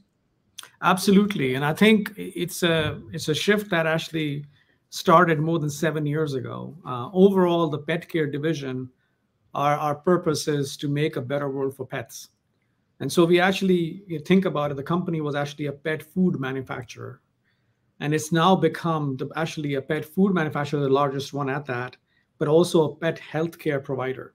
We actually are also the biggest uh, owners of uh, healthcare uh, veterinary services for for pets. Uh, we actually uh, have close to 100,000 employees worldwide. We actually have uh, clinics all over the world. We have diagnostics and science labs all over the world. And of course, we also have the leading pet food brands. But along the way, all the innovation is looking at the entire ecosystem of services we own but it's all about at the service of solving pain points. Terrific. Thank you very much. Chris, what about the entertainment industry? What's your vision for Herschend Family Entertainment? And what are the top challenges you're facing in executing on that vision? Well, in similar to Ikdeep, we have a pretty simple vision. It's really just to bring families closer together. Um, that's what we do. so that gives us a lot of room to do and a lot of fun things to bless people. Really, uh, we tend to be in communities that um, are what I would call uh, side communities, smaller, uh, not always, but often smaller towns. So we're often the largest employer. We're an opportunity for people to have dignified work. I mean, you think of a theme park worker, your picture in your mind may not be somebody who's engaged and and committed, but we have a long, long history of multi-year returners to our parks and our attractions, and that's something that as shareholders we talk about all the time. And then on the product side, those people are empowered to deliver something where they really feel like their job is to love our guests and they love these families that come visit us. And in the big scheme of things, we feel like that's kind of what the world needs. I know we're not um, doing some things that are considered, you know, uh, maybe scientific breakthroughs or, you know, we're not curing cancer and things like that, but people need people and they need to be together and they need to laugh and just simply be outside together in a day where they don't have any other cares. So we love doing that for our families and giving them a break from whatever it is that's um, kind of weighing them down. So it's it's pretty simple. It's been about 70 years. We've kind of been doing the same thing over and over and over. And it's compounded over decades now to where we feel like we are really just starting to hit our stride, where we really feel like we can articulate plainly to our team, uh, you know, why we exist, what their role is, and how they fit into a larger purpose. Um, it's not just you know selling popcorn and funnel cakes. It's really something much more significant. And can you flag one or two major obstacles you're facing chris in delivering on that vision? Maybe 12 how much time have we got? Not enough for all of them. Yeah no i mean i think that the biggest thing for us in north america has been the labor markets and just reminding people you know what the benefits are of working in a community. Uh, it's hard work um, but we've been able to combat it because we've, like I said, this kind of hard-earned multi-year reputation for not being a, a, a paternalistic culture where I'm going to take care of your every need, but really a place where you're needed and your work has great dignity. And the people you work with care about you. And we measure that and we measure it not only from a supervisory level um, but also from the peers the people you know by your side. And that's that has helped us combat what I think is the biggest single threat, which is sort of people not wanting to come back to work. Um, but we've been able to grow the business pretty substantially, uh, even since the pandemic. And um, it's not just pricing power, you know, it's not just inflation. It's really been an ability to attract and retain people in an environment where there's plenty of reasons not to come back at all. I mean, savings rates have been very high. Our wage um, is competitive. It's always competitive. We always make sure to do that. But you know, it's not a high, high wage job. And there's just a lot of pressure to keep people at home or in other places. So we've been able to combat that successfully, largely on the back of, I think, culture. There's really not a management system that can explain exactly why we're having success right now. It's a large, I think, to a large degree, it's a factor of the way we treat people. Yeah, thank you, Chris. I'd like to come back later in this discussion to this talent attraction retention issue because I know it's a big one for everyone here. Morten, how about in your sector of the economy? What about Novozymes and its vision and obstacles? Yeah, I, first of all, I, I really like uh, Chris's, uh, and you shouldn't be humble about the simplicity. I think really speaking from the heart and, and to the heart of individuals, that that is where the secret sauce is in many times. At Novozymes, as you're describing us, we're pretty broad. We are in actually 700 different products across 34 different industries, uh, varying from uh, farm, uh, how you can create uh, biological inoculants uh, for farming your field, uh, to how you produce more out of your crops from from your fields as well, bring it to the table coming up with new solutions on alternative proteins and ensuring there's enough proteins on the table for everyone, looking across some of the, the challenges that the world are facing today. And at the same time, we're looking at how can we apply that into household care, creating more uh, biological uh, detergents, how can we enable and utilize more uh, biological solutions in when you're doing fermentation of uh, different products. So the last decade, we have been working with a triple bottom line, a bit like uh, it talked about. So we have a, a, one pillar is our finances, where we over the next uh, seven years need to double our revenue. We also have a pillar where we look at uh, our operations. So the way we actually produce our uh, our products needs to be uh, net zero. We need to transform our business. And then we have a third pillar, which is our SIMers, which is our employees and the society in which we engage in. And to each of these, you really need to be able to link what it is you're doing so it doesn't just become bullshit when you're explaining it to people. So today we go out and we report out on how much revenue, uh, total revenue, are actually dedicated in our uh, finance uh, leg on that are supporting our ESG targets and the missions that we have of transforming the world to a net zero society and transforming uh, to a healthier planet and healthier lives. Uh, we also have uh, put forward, like a lot of other companies, on how we want to reduce our CO2 emissions.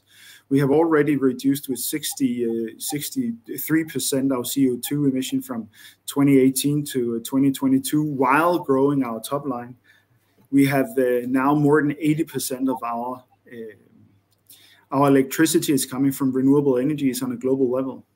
And on the third one, on, on our employees, we of course work with uh, looking at how we want to drive diversity in our business. But another part, we also want to be able to go out and inspire. We allow all of our employees to take 1% of their time and, and go out and do good for the societies where they live and where they are we truly believe, and that's what I liked about Chris's comment on that we all belong to a society, we all belong in a community. And no matter how big you extrapolate it out from a world perspective or in around the site where you are, you have an obligation to go out and inspire. So that means in Mumbai, we are going out and we are creating uh, water wells. We are supporting the local communities. As we saw with the Ukraine Ukraine war that's uh, broke out a year ago. We are having ability to go out and center both with money to support ideas from employees to go out and engage locally. We see now in Turkey uh, where we have a uh, fairly big presence, where we have the ability on a weekly basis to take every Monday morning out to go and pack uh, uh, produce uh, products that is uh, needed in the eastern part of Turkey. And we allow this because it creates a massive, massive value for the individual community and the, the individual employee in that process. Thank you, Morten, especially for, for bringing up the concept of place, because we talk a lot about in this space people and planet, but place is often not as prominent, and yet it's so related to the first two. So I'd like to pick up on that uh, a little bit later. I hope we have time for that. I'd like to just shift gears a little bit and ask you, Mette, uh, how, how do you see the role of your PRME organization at the United Nations uh, and that, that you lead this organization in transforming business education? Can you tell us a little bit about what exactly are you trying to accomplish with this and what are the major obstacles you're going to have to overcome in doing so? Yeah, no, thank you very much. Thank you very much for for having me here, Jay. Today, I really enjoyed it, and I'm always impressed uh, listening to uh, great uh, advances, great progress from from a lot of our businesses, and of course, in particular, the three in in this very panel. And uh, Normally, I'm based in New York in the UN Global Compact office, uh, but today I am actually physically at Oxford. So what you see here behind me is uh, is actually happening also in real real life. No, uh, but I've over the past three years uh, been heading up uh, PRME Principles for Responsible Management Education. And our ambition is to, you could say, advance progress, inspire uh, the almost 1,000 business schools that are part of our community globally. And we are the United Nations largest initiative on responsible management working to uh, the towards the SDGs. And let me just start by reminding uh, you, uh, in case you've forgotten, that one in three, 33% of all students that come out globally every year with a degree in, from undergrad studies or from graduate studies, they come out with a degree in business, economics, law, or management. So one third of all graduations from tertiary university come out with a business study. Uh, so it's about 70, 70 million students we produce every year. And these students are the future leaders in your companies, uh, in your businesses, and uh, they're going to set the tone, the mindset, as uh, we've heard uh, Chris also talk about here, the mindset for how these businesses, your businesses, are making decisions, what kind of frameworks, what kind of uh, thinking that goes behind uh, making a decision in one way or another. So it's not a trivial pursuit. Uh, it's not uh, indifferent what we bring into the classrooms of these students. So that's what, what our ambition actually is, is to change what is brought into that classroom, transform what is brought into the classroom. When I was educated quite some years ago, the idea was focused only on short-termism, on the shareholder supremacy, on one particular way of thinking about growth, uh, about scaling in one particular way. And I think that rethinking of the business model that we have heard already on this panel is what we need to see much more of.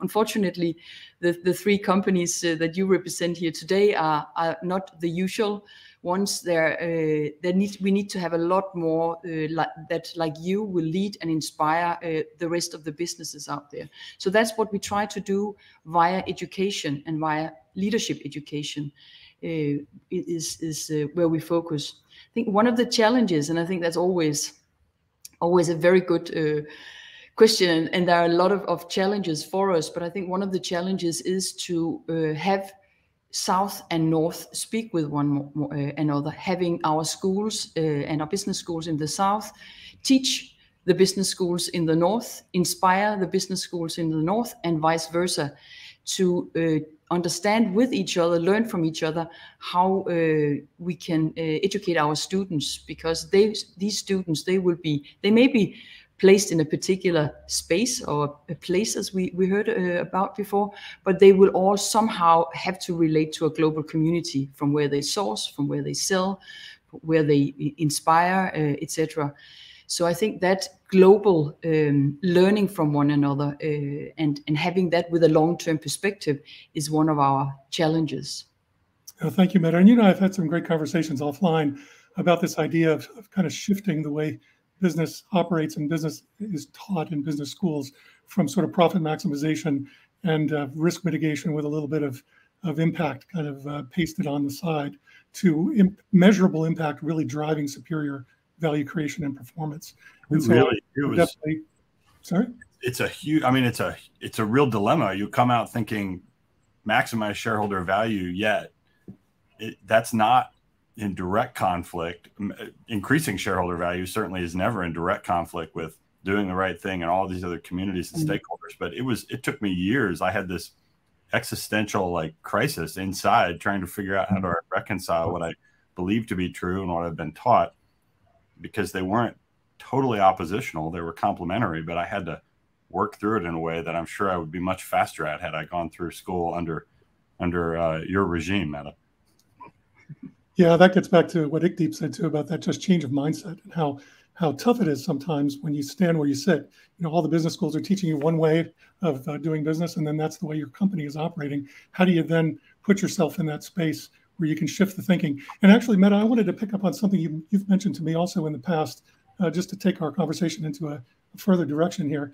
Uh, you've, you've shared to me in the past that you've had a lot of conversations with CEOs uh, in your role, and that sometimes these CEOs will actually complain uh, to you that business schools are not graduating students with the right skill sets to manage to more responsible, purpose-driven business outcomes. You know, all of these outcomes that these business leaders are being pressured to uh, to, to, deliver. So, could, could you just elaborate a little bit on those conversations and uh, and what you have been hearing? Yeah, no, thank you very much. And I think it feeds directly into one of the comments that was just raised by someone, I forgot the last name, Susanna, uh, in the chat here about taking bringing the students out of the classroom, not just uh, bring the students and profess, as I call it, professing for them in the classroom. You know, this is how I've been teaching myself uh, as a professor in a lot of classrooms is professing, more or less pacifying my students because I come in as the educated professor who's going to teach my students what they should think, what the curriculum looks like. And then by the end of the semester, I will examine them if they have if they are able to imitate what I told them, if they're able to repeat uh, the text that they have read. So actually Im imitation and repetition becomes the skill set that uh, we have uh, for too many years been uh, valuing in, amongst our students. We need a different skill set, Jay, as, you, as you're saying, and as, as many CEOs are asking for, a different kind of skill set where students are able to think interdisciplinarily we we uh, we need to understand that we may have a subject matter of accounting and a finance and marketing organization theory but students need to think across and need to be able to uh, when they're out there in, in practical uh, uh, uh, practical dilemmas they need to understand how these disciplines come together how they make decisions in complex um, society what we refer to as wicked problems, problems that have no predefined solutions. And that's where we need the, the skill set of the students to be, for them to be much more those who are able to ask the questions, to identify the dilemmas, not in a case study that has meticulously been sort of chewed over 20 pages and where there's only one right answer, the students need for themselves to think what's the problem? How can i make uh, find new solutions uh, to these problems? And that will sort of it, it, points directly back to ourselves as professors in that classroom. It demands a new kind of skill set from us as professors how we mobilize our students uh, to sort of be those creative uh, uh, solution make makers and those change makers that are needed in, in practical uh, business life today. Thank you, Mette. I'd actually like to ask Ikdeep and Morten if you could um, uh, just share your thoughts from your respective roles as to uh, uh, Mette's observation. Are, are, the new employees that are coming into your organizations, do they have they may have the passion for operating in a new way, but do they have the right skill sets? What are you seeing and what are you looking for? Maybe I'll go first. Um, I would say, you know, broadly broadly speaking, you know, we we get a lot of brilliant um, candidates coming in, and I think the question that we all trying to, as leaders, uh, lean into is really kind of le- leaning into what's going to lie ahead of us. Can you see where the world is going? And then kind of lead through some ambiguity and motivate action based on a vision. And I think that vision has to be, in essence, be locked in that business can be a force for good. And that's what we are trying to find uh, when we talk about like minded, valued people who can become associates for us, because that's the kind of leaders we want to see uh, come out uh, people who can drive results, but more importantly, also make impact to society. So that's kind of like my take on it. Morten? What I liked about Mette's uh, comment was that we should shift away from uh, sitting and doing professoring, or how you called it, that we just sit and and command and then test, test them at the end of the year. But I actually think that also goes for companies. If you're a leader in the future, and we heard Lindsay talk to it, if we don't revisit the way we actually are running and doing and tasking our business from day to day, then we are going to lose the, the best minds. And that's why, for me, it's so important in, in Novozymes that we have these three pillars. And it's not to sit here and talk about the percentages, but if we are not if we are not able to actually demonstrate and walk the truth, we're going to be have all the talents in the world see straight through us and, and leave us. So I really think that when we're looking for talent, we're looking for, of course, people coming with the educational background and the formal education, but also people that are curious, that are going out and have a curiosity on technologies, on thinking differently uh, for the future. Had I said uh, 10 years ago and said that we will be building uh, alternative protein uh, factories in North America that will enable uh, alternative meat patties, well, it was probably a bit far-fetched. But now we sit in a world where we're talking about how our enzymes can be replicated out and doing enzymatic carbon capture on uh, on factories. We need to have individuals that has a formal education but is curious and i think that's really what lies and what we're looking for is individuals that has that curiosity to combine different technologies and ways of thinking ways of uh, different perspectives. Thank you. I'd like to just get a little deeper into this topic of, of purpose driven businesses. And i'll give this next question first to you chris. Uh, an oxford professor named clive staples lewis said a century ago uh, the following about purpose. He said, Purpose is like a light, and you don't turn on a light in a dark room to then stare at the light. And I think the idea here is that the light is meant to illuminate what's in the dark room. And for business, this could be illuminating the problems or challenges of stakeholders in an ecosystem built around a shared purpose for a business activity. But staring at the light uh, might be by those companies, and there are many of them, that don't necessarily connect their purpose to their strategy and to their incentive system, but rather create a purpose that's meant to be inspirational and maybe to generate positive corporate reputation, but really isn't practically actionable. So, could you tell us, Chris, a little bit about how your family entertainment business looks at this idea of purpose and how it's able or not able to deliver this purpose through strategy? And if you've got any examples that are specific, that would be terrific. Yeah, I'd, I'd actually just like to hear the question again because I loved it so much. but um, you know, it's a great point. We we kind of start. We have we have three shareholder objectives since '98. We've had the same three, and it starts with people and employees, and we use the word treasured, and then we explain the why, which is because we think an employee who feels seen, heard, known, cared for is much more likely to be a better mom, sister, coach, neighbor, friend, child, everything, every every part of your life can rise on the tide of being honored and loved and treasured at work, right? So we see that as a so that it's not so that we can make more money, though that is often a byproduct of somebody who's engaged and enjoys and finds meaning in their work. And so it becomes this great our, our only economic objective at Herschend is growth. And with, you know, constraints around our growth, obviously, in terms of our uh, cap table and the way we leverage the business and such. But really, we don't, we simply want to grow partly because we feel like that gives people opportunity to move into positions of increasing responsibility and scope over time. So, tactically, you said it incentives are so important. Incentives need to be thought through so carefully in this world because you get what you measure and what you compensate. And you know, we have, for example, I mean, this is just one tactical example, but we have, like many of the folks on this uh, panel, I'm sure do, we measure not only the results you get, but how you get your results. And we survey the people that work for you as part of your compensation. Your incentive comp comes partly as a result of financial performance, but only partly. And if you've got a system that says, hey, people are really important and all these things matter and the way you work matters, but you're only paid on economics, um, you're you're miscommunicating that. And so we've got a number of things we've kind of engineered into our business that are not just incentive driven, but they are intended to be almost a um, what we learned in business school was called an expensive signal. You you can say certain things are important, but until you're investing in it, until you're putting money behind it, um, it's not going to happen. And what we found is that over time, we've actually lowered our growth target as shareholders over time from where we started in 98 till now, we've actually lowered it. So we measure it only as uh, EBITDA growth or operating uh, profit. We lowered that target and we've now consistently exceeded that target by almost 50% for over 25 years.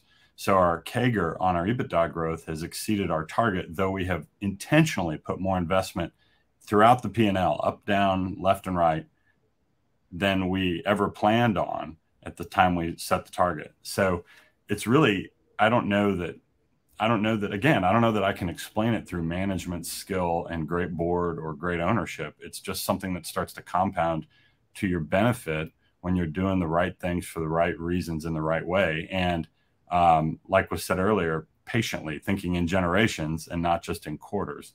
If we were trying to do all this and get maybe results in a year or even 18 months, I think we'd been very discouraged right away. Oh, thank you, Chris. Very uh, powerful points. can you tell us a little how you deliver a strategy like uh, a better world for pets, for example? How can you practically do that? Yeah, you know, Chris, first, I, I just loved uh, the way you described, uh, you know, how you're bringing a purpose to life. I think in the way I would describe it is, you know, we are here to serve and solve uh, pet parenting pain points. And that mission is actually an infinite game. It's not a game that's going to be finished in a quarter. It's not a game that's going to be finished in a year.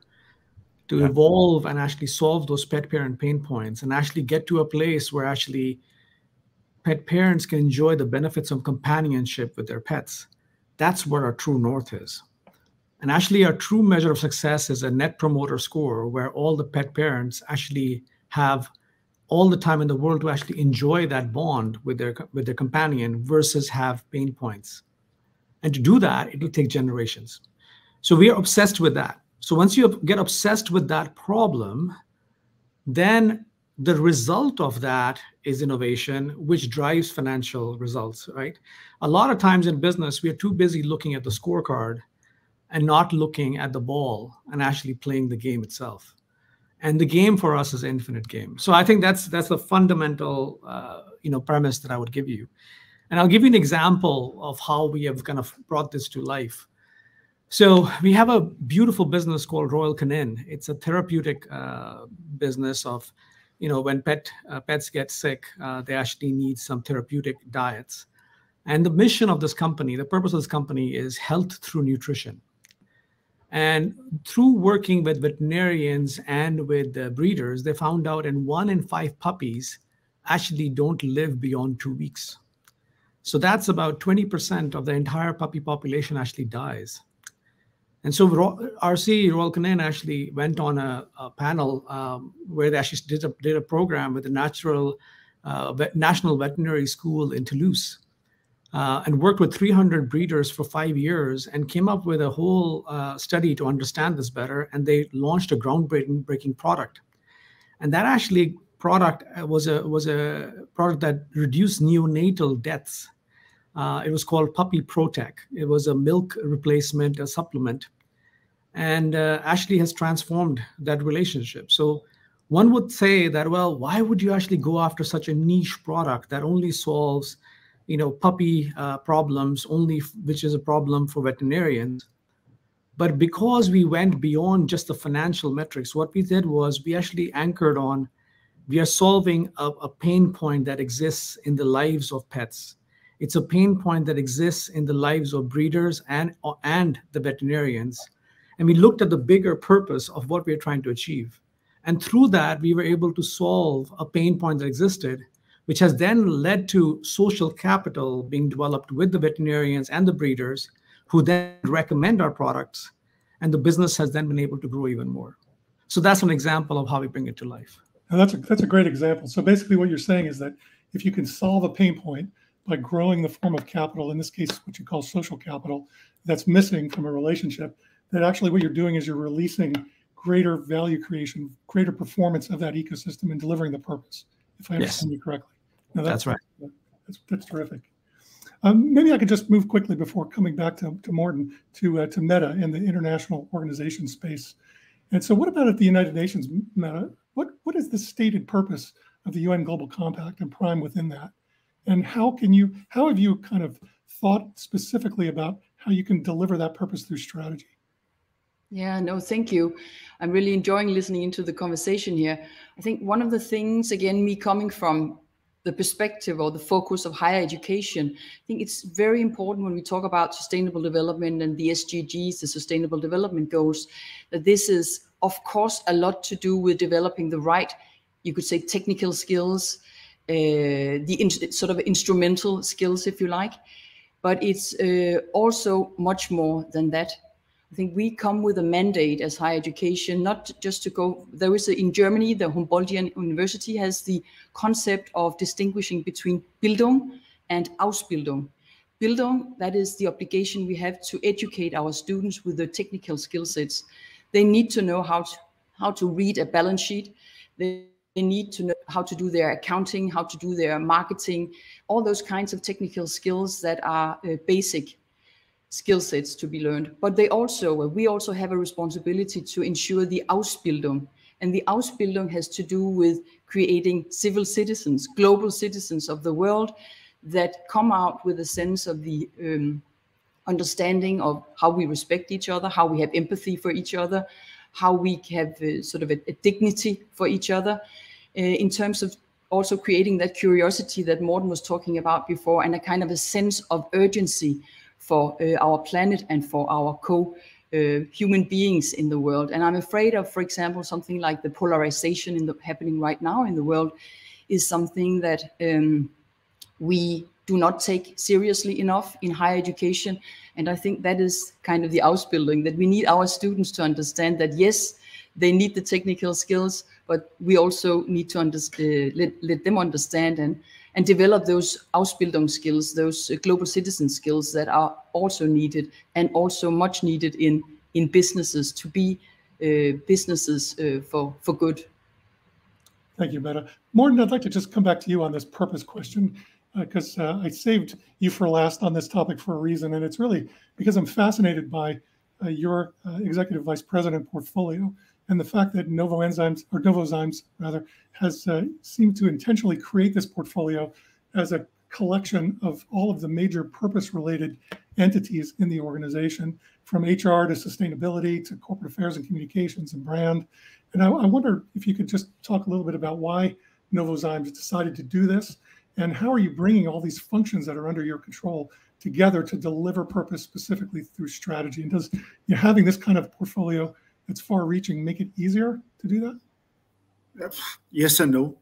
Um, but I, I, think actually, so listening to to the last couple of comments, especially Chris and uh, you need to go out and play to win and not play to avoid losing. And I think a lot of us we are educated in the same uh, methodologies in business schools that we know how to optimize on a balance sheet and the short-term profits will show right away in the next quarter and the challenge is though you need to invest for the long run and you need to be able to articulate the narrative you need to be able to be present in the challenges that we are facing we are seeing a world today that are seeing dramatic challenges, whether it has been COVID or now we're seeing wars again breaking out in Europe, whether we are seeing supply chain disruption, we are seeing famine again in uh, big continents.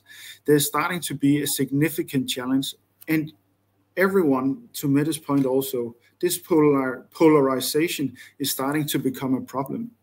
Employees current and future employees they want to work for employers that has the ability to articulate and be actually representing their voice and i think companies that has a strong purpose that has the ability to articulate that drive that narrative into creating long-term growth they actually are the ones succeeding. So having the ability to take a stand in our uh, purpose being able to articulate that when it comes to a brand to the way we talk to our uh, markets, to the way we talk and advocate for biotechnology and how we are advocating for a fossil paradigm shift in the world, or it's how we actually go out and we communicate towards uh, our current and, and, future employees, just makes more sense. Uh, why at times, yes, it's extremely fun and it's extremely easy because it's so coherent. It's the same message with a different tonality, but it's of course extremely difficult because what we hear addressing and, and,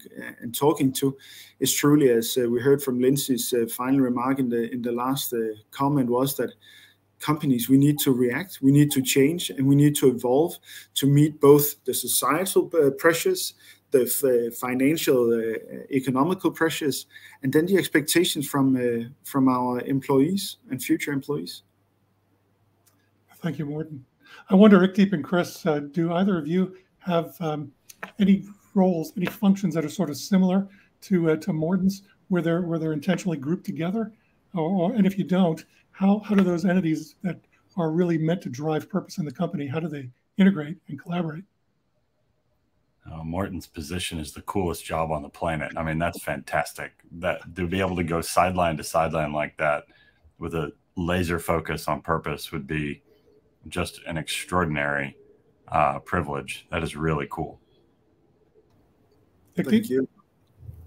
Yeah, I would just uh, you know start off by saying that you know I, I fundamentally believe that what makes the edge of a company is the culture, and what I and all of my associates try and do is we want to wake up every day in the morning thinking about how to solve pet parent pain points. I think if you end up having that kind of a mindset and that kind of inspires you, then everything else flows off that. And I think, uh, you know, as a leader, what I try to do is always embody that and role model that and show up with that curiosity and show up with that, you know, obsession with the outside of actually always being curious about like what exactly is the pain point, what what is coming in the way, how could we do better, and it's the continuous mindset of always wanting to do better and solve problems, and that if if I do it and if 100,000 associates with me do it, then you know the rest of it is just easy. So it's a bit of I would say the purpose is kind of like every single associate should be the chief purpose officer, and that's kind of our goal and it comes through in the culture of the company um, and that's what we try to embody uh, in every every meeting every single connection we have as a team. Oh, thank you. Actually while i still have you here Ikdeep, yeah as a, it was a good reminder from Morten in his answer that really the overall theme of this forum is about the role of business in addressing systemic crises. You know given governments are increasingly burdened by debt and often have limited reach compared to corporations. So i wonder if you've got any specific initiatives in your specific business that actually uh, demonstrate a commitment to mitigating crises. You know, for example, during the pandemic, due to war, supply chain disruptions, inflation, labor shortages, talent retention, whatever you feel is the most relevant uh, to your example. I mean, I'll, I'll, give you one which is linked to our purpose. So, you know, we we we have Pedigree as the biggest dog brand in the world, and we believe that we make a you know pets make our lives better because they offer companionship and love and it's proven in, in studies that pet ownership actually drives uh, better aging uh, of older people.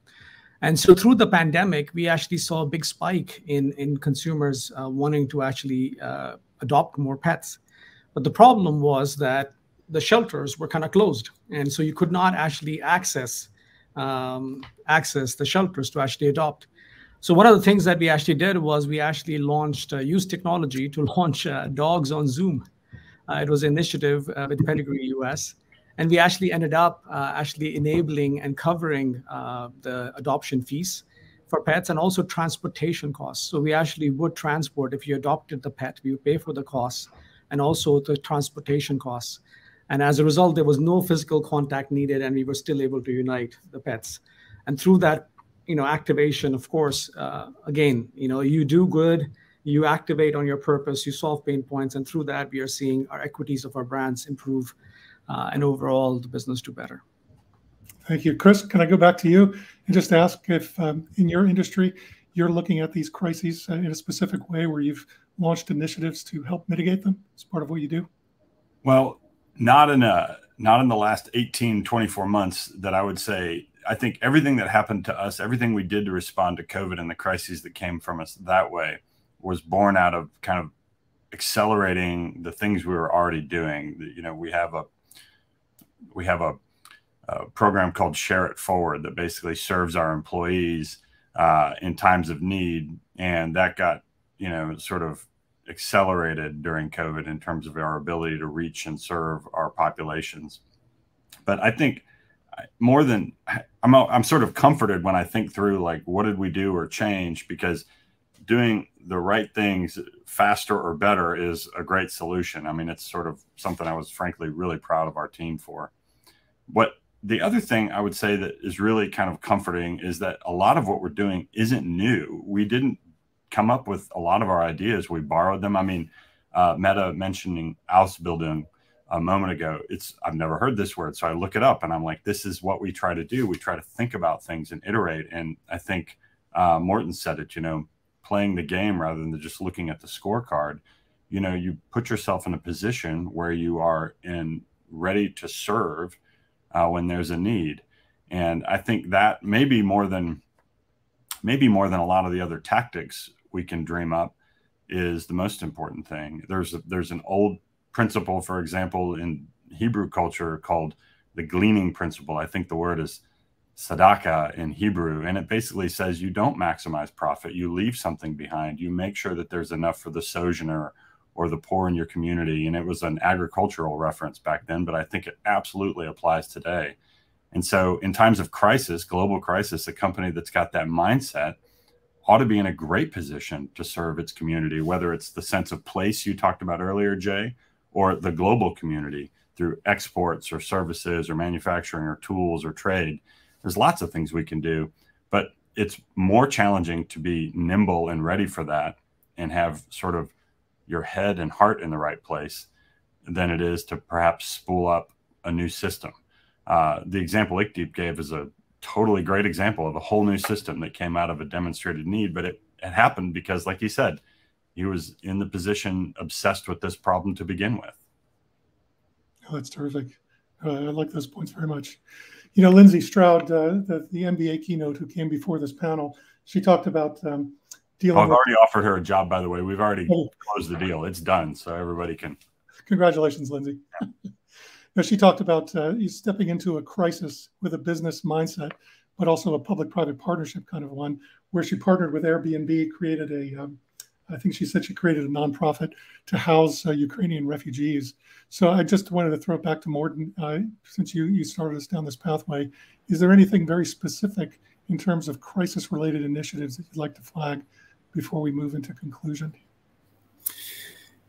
Yeah, but but I, am I'm, I'm actually maybe I'm gonna repeat a bit like what Chris also said because it's not like we came up with a complete new idea and, and alternated, but we we actually looked at some of the challenges that we already had and some of the products we had, and then looked at it in a new context. For instance, when we saw um, the war starting out in, in, February 24 last year, we started seeing some of the consequences into uh, Q2 last year that fertilizers were not being able to ship from Russia into Africa and especially to the Horn of Africa because there was an embargo on fertilizers coming out of out of Russia.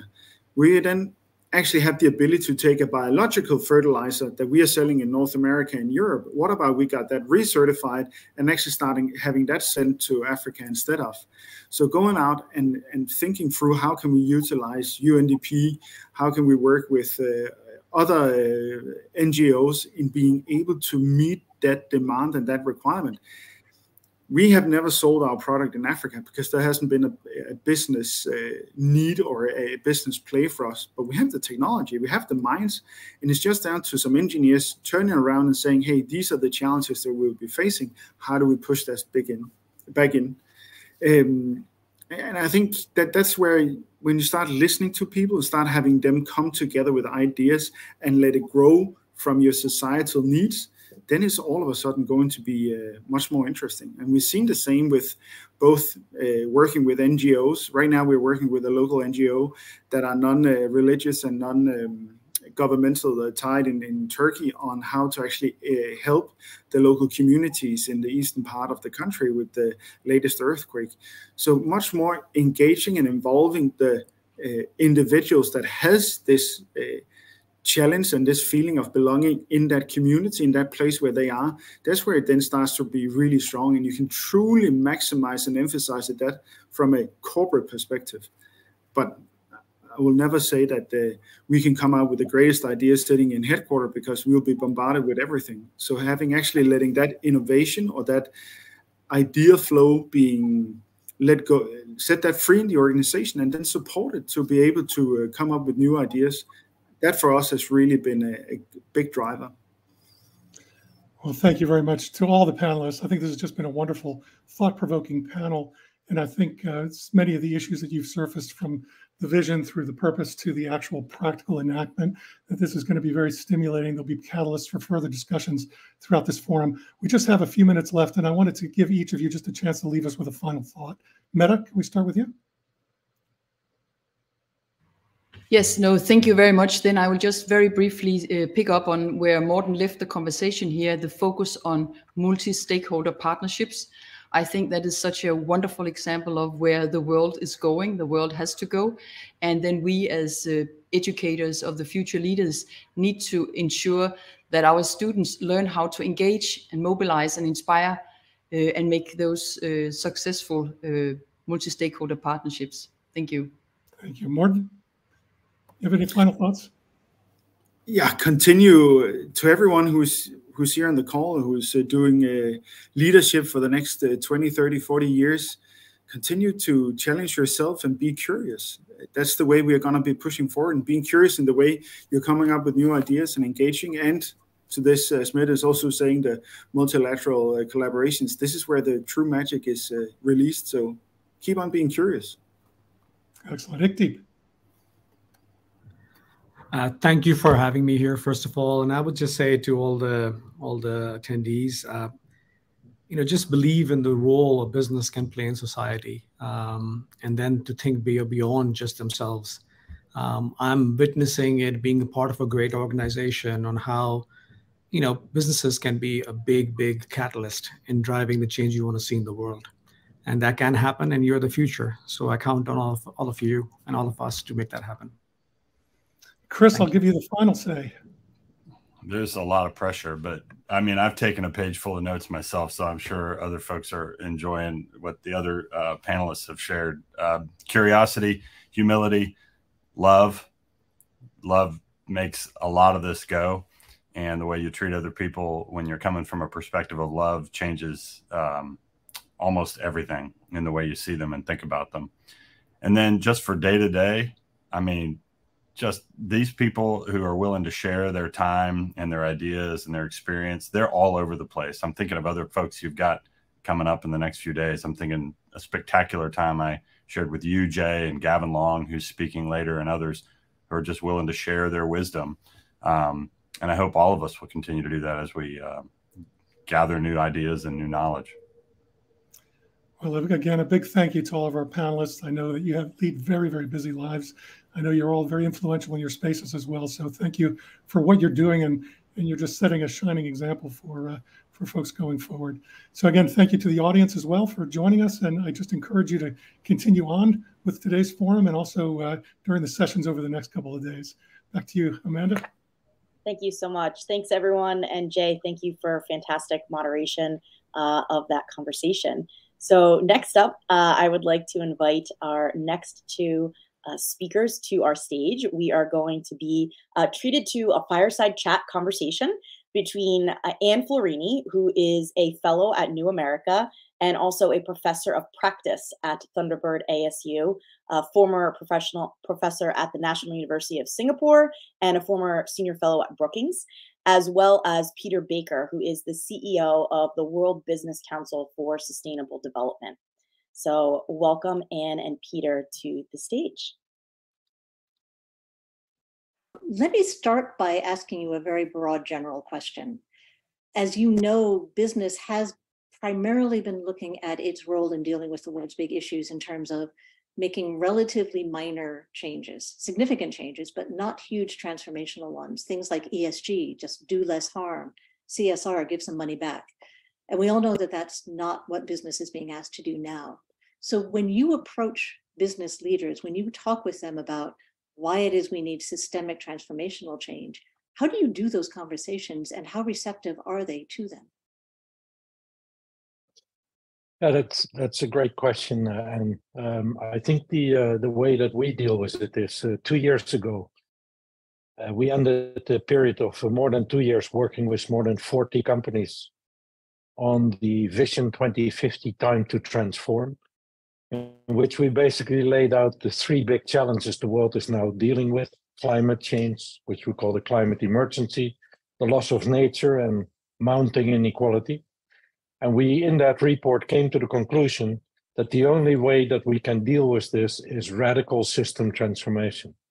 The incremental improvement model of business will have to come to an end. We have to radically rethink the way that we produce the energy that we need, the mobility, the food, and all other aspects of products and services that business provides to society. That has become uh, the conversation in WBCSD we've translated that into a number of membership criteria.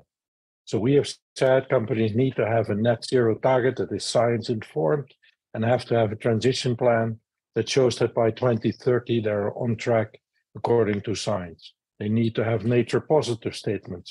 They need to respect and, uh, and support human rights in supply chains, uh, the, uh, the diversity and inclusion aspects of business, and they need to adhere to the highest levels of transparency. So all that is now put in place. Companies are are being uh, held accountable for that uh, set of criteria, and that has fundamentally changed the conversation we have with businesses and with the CEOs of those companies.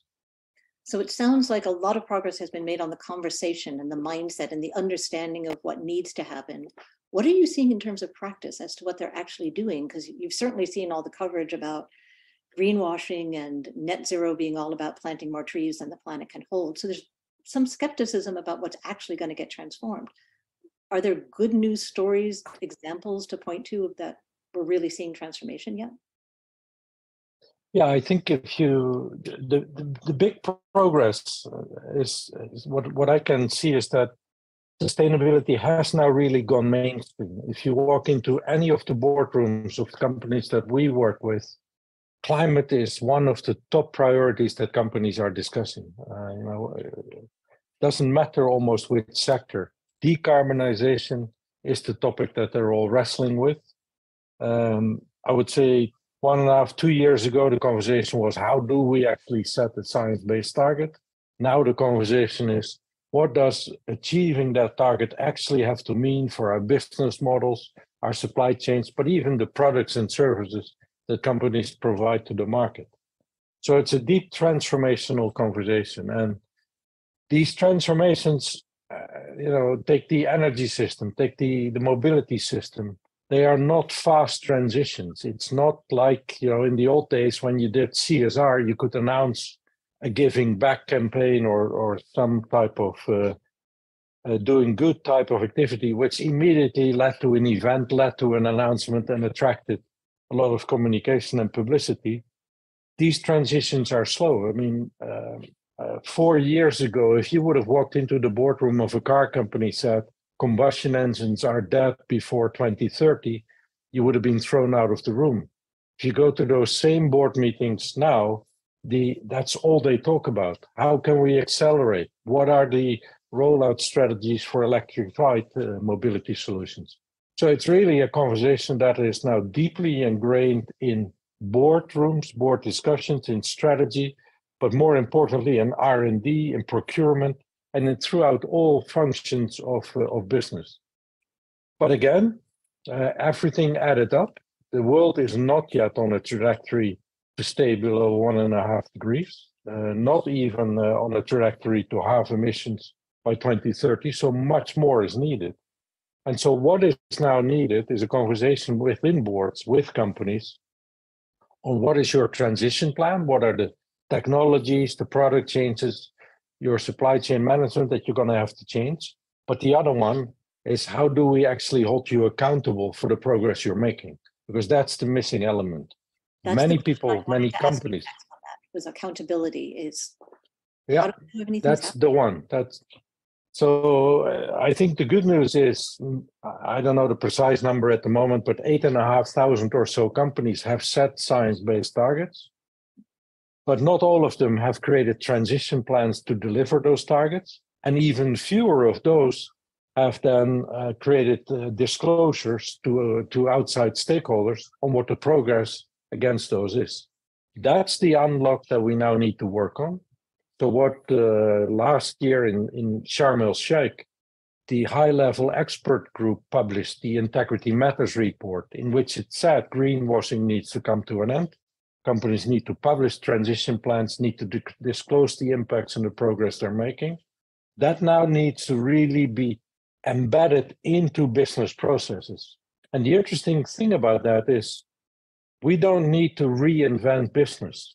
You know, if you look at the way that companies manage their financial performance, we can use the same processes, the same functions, in many cases, even the same systems. We just need to now make them aware that we're also going to hold them accountable for their carbon performance or for their biodiversity performance. And this, of course, is very much in keeping with the economics of mutuality way of approaching building a purpose driven business is there are metrics for natural capital and social capital that already exist that can be used by by businesses who have at least started on this journey. So I think that leaves us yep. with a couple of questions coming out of what you've just said. One is eight and a half thousand companies is a lot of companies, but compared to all the companies in the world, it's not really a lot of companies. So how do we get this to scale very rapidly? And the other is what is blocking among the companies who already basically get it, that they know that they have to start doing business differently?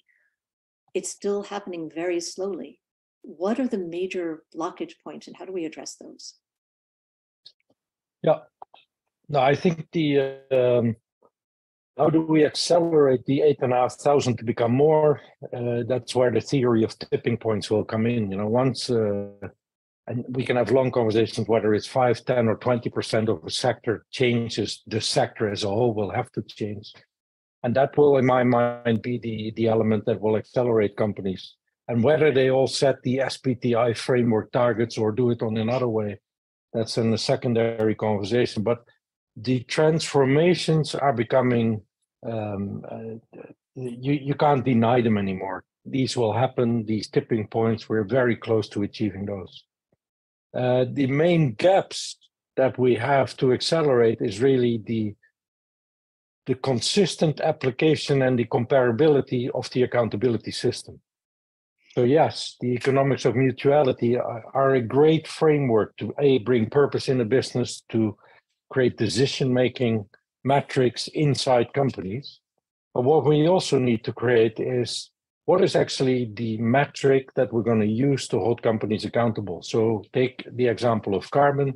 How do we make the greenhouse gas protocol more robust? How do we actually get to product level scope three accounting metrics? So how do we actually get real time carbon performance rather than based on all kind of assessments and averages? And that's one element, and there's a lot of work going on in that. And give it a, a year, and then that will be pretty robust. And then the big play will be how do we get the external disclosures to be comparable, i.e., what is the accounting rule for disclosing one's carbon performance? That's where the ISSB, the International Sustainability Standards Board, will play such an important role. Their framework will come out in the summer of this year. And then in COP28, the big push should be how do we get as many countries in the world to make that a mandatory framework? Because the days of voluntary disclosure need to be over. Companies need to be held to account. And the best way to do it, just like in their financial performance, is to hold them to accounting rules that apply to all companies. And as such, will uh, create comparable data that then investors and other stakeholders can uh, can respond to. So it sounds like from everything you're saying, we've made a tremendous amount of progress. We're somewhat missing on the accounting and policy side in making things mandatory, but we're developing the tools that we need to be developing. Yeah. One of the phrases that I hear a lot is in all of this, this transition to sustainability, that it isn't the direction that's the problem, it's the pace that's the problem. That the speed at which all of this has to happen is so extraordinary and it requires so many changes in so many systems. You, I think it's helpful if people have a sense that not only is there a lot happening in these general terms, but a lot in specific industries where you're seeing us approach tipping points. You mentioned the EV example. I think that is a crucial one where all of a sudden it's very clear that that industry is going to be totally different in the next few years.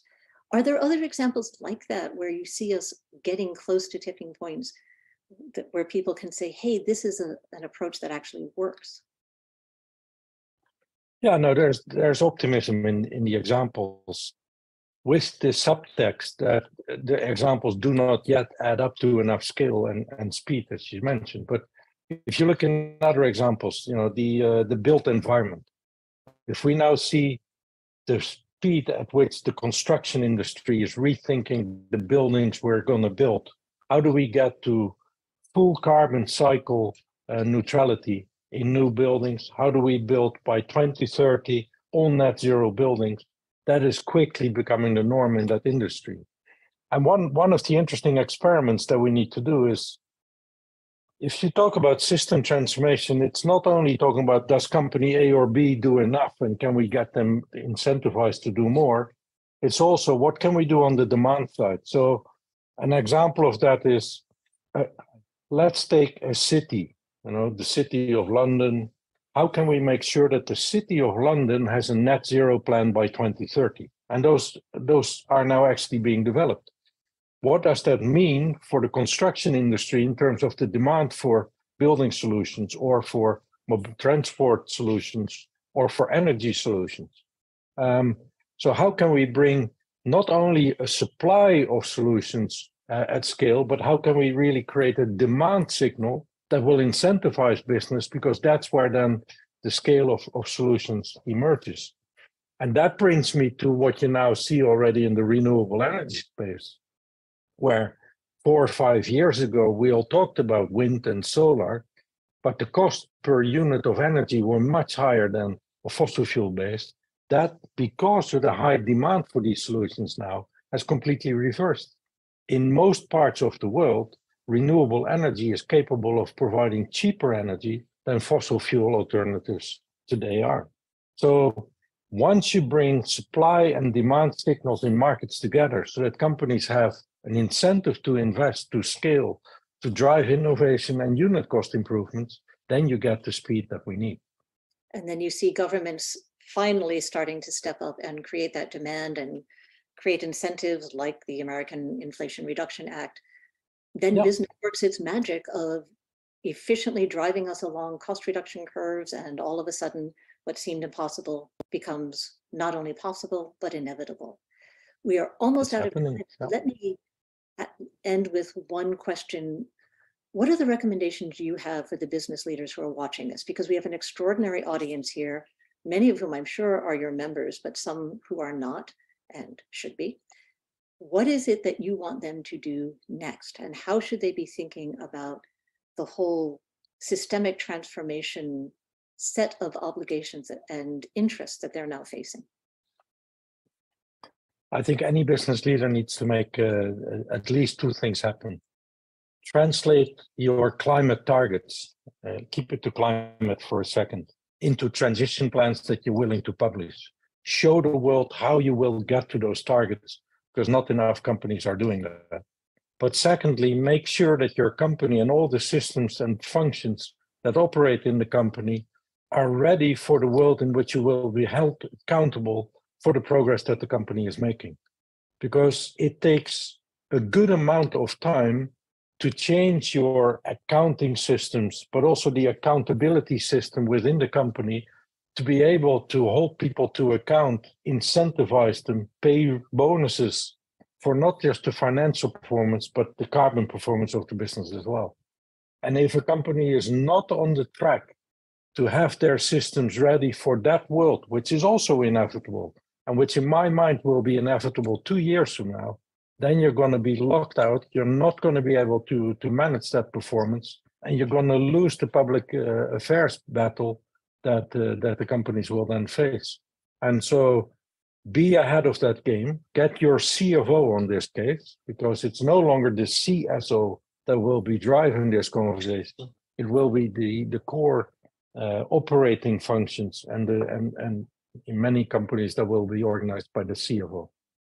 Right, which is a big agenda, but as you've been saying, there are a lot of tools and processes and groups out there to help businesses make that transition. And I hope they heed your call. Peter, thank you so much for spending your time with us today. Thank you, Ann. Thank you so much, Peter and Ann, for joining us and sharing your thoughts. Uh, as you know, we have about an hour left in the program reserved for anyone that might be interested in doing some speed networking. So before I kind of close out our time together here formally on the main stage, just wanted to make sure that you knew how to participate in speed networking if you're interested.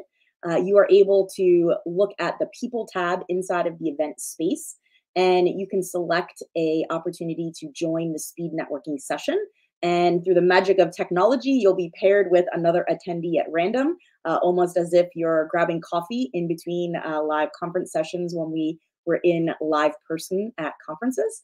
And you'll have a chance to speak through video chat for a short time. Uh, if you'd like to, you'll also have the opportunity to share your details and stay in touch. So we invite you to take advantage of that to meet the amazing uh, participants that are joining us from around the world and also hope that you really enjoyed the conversation today. We have enjoyed having you here, uh, having the engagement back and forth between those of you in the audience as well as the speakers on stage. Uh, big thank you to all of the speakers who made time to come and share their perspectives and hope that you were able to see a lot of common themes. You know, we heard the language of curiosity and transparency and uh, also the theme that we really need to look inside of ourselves to not only find what role we might be able to play in this acceleration, but what work we might be able to do to grow our capacity uh, and be able to live out the purpose uh, in our lives and in our companies. So we hope that's given you a lot uh, to think about when we are rethinking how to rewire our business models and the role that you're able to play in accelerating that change.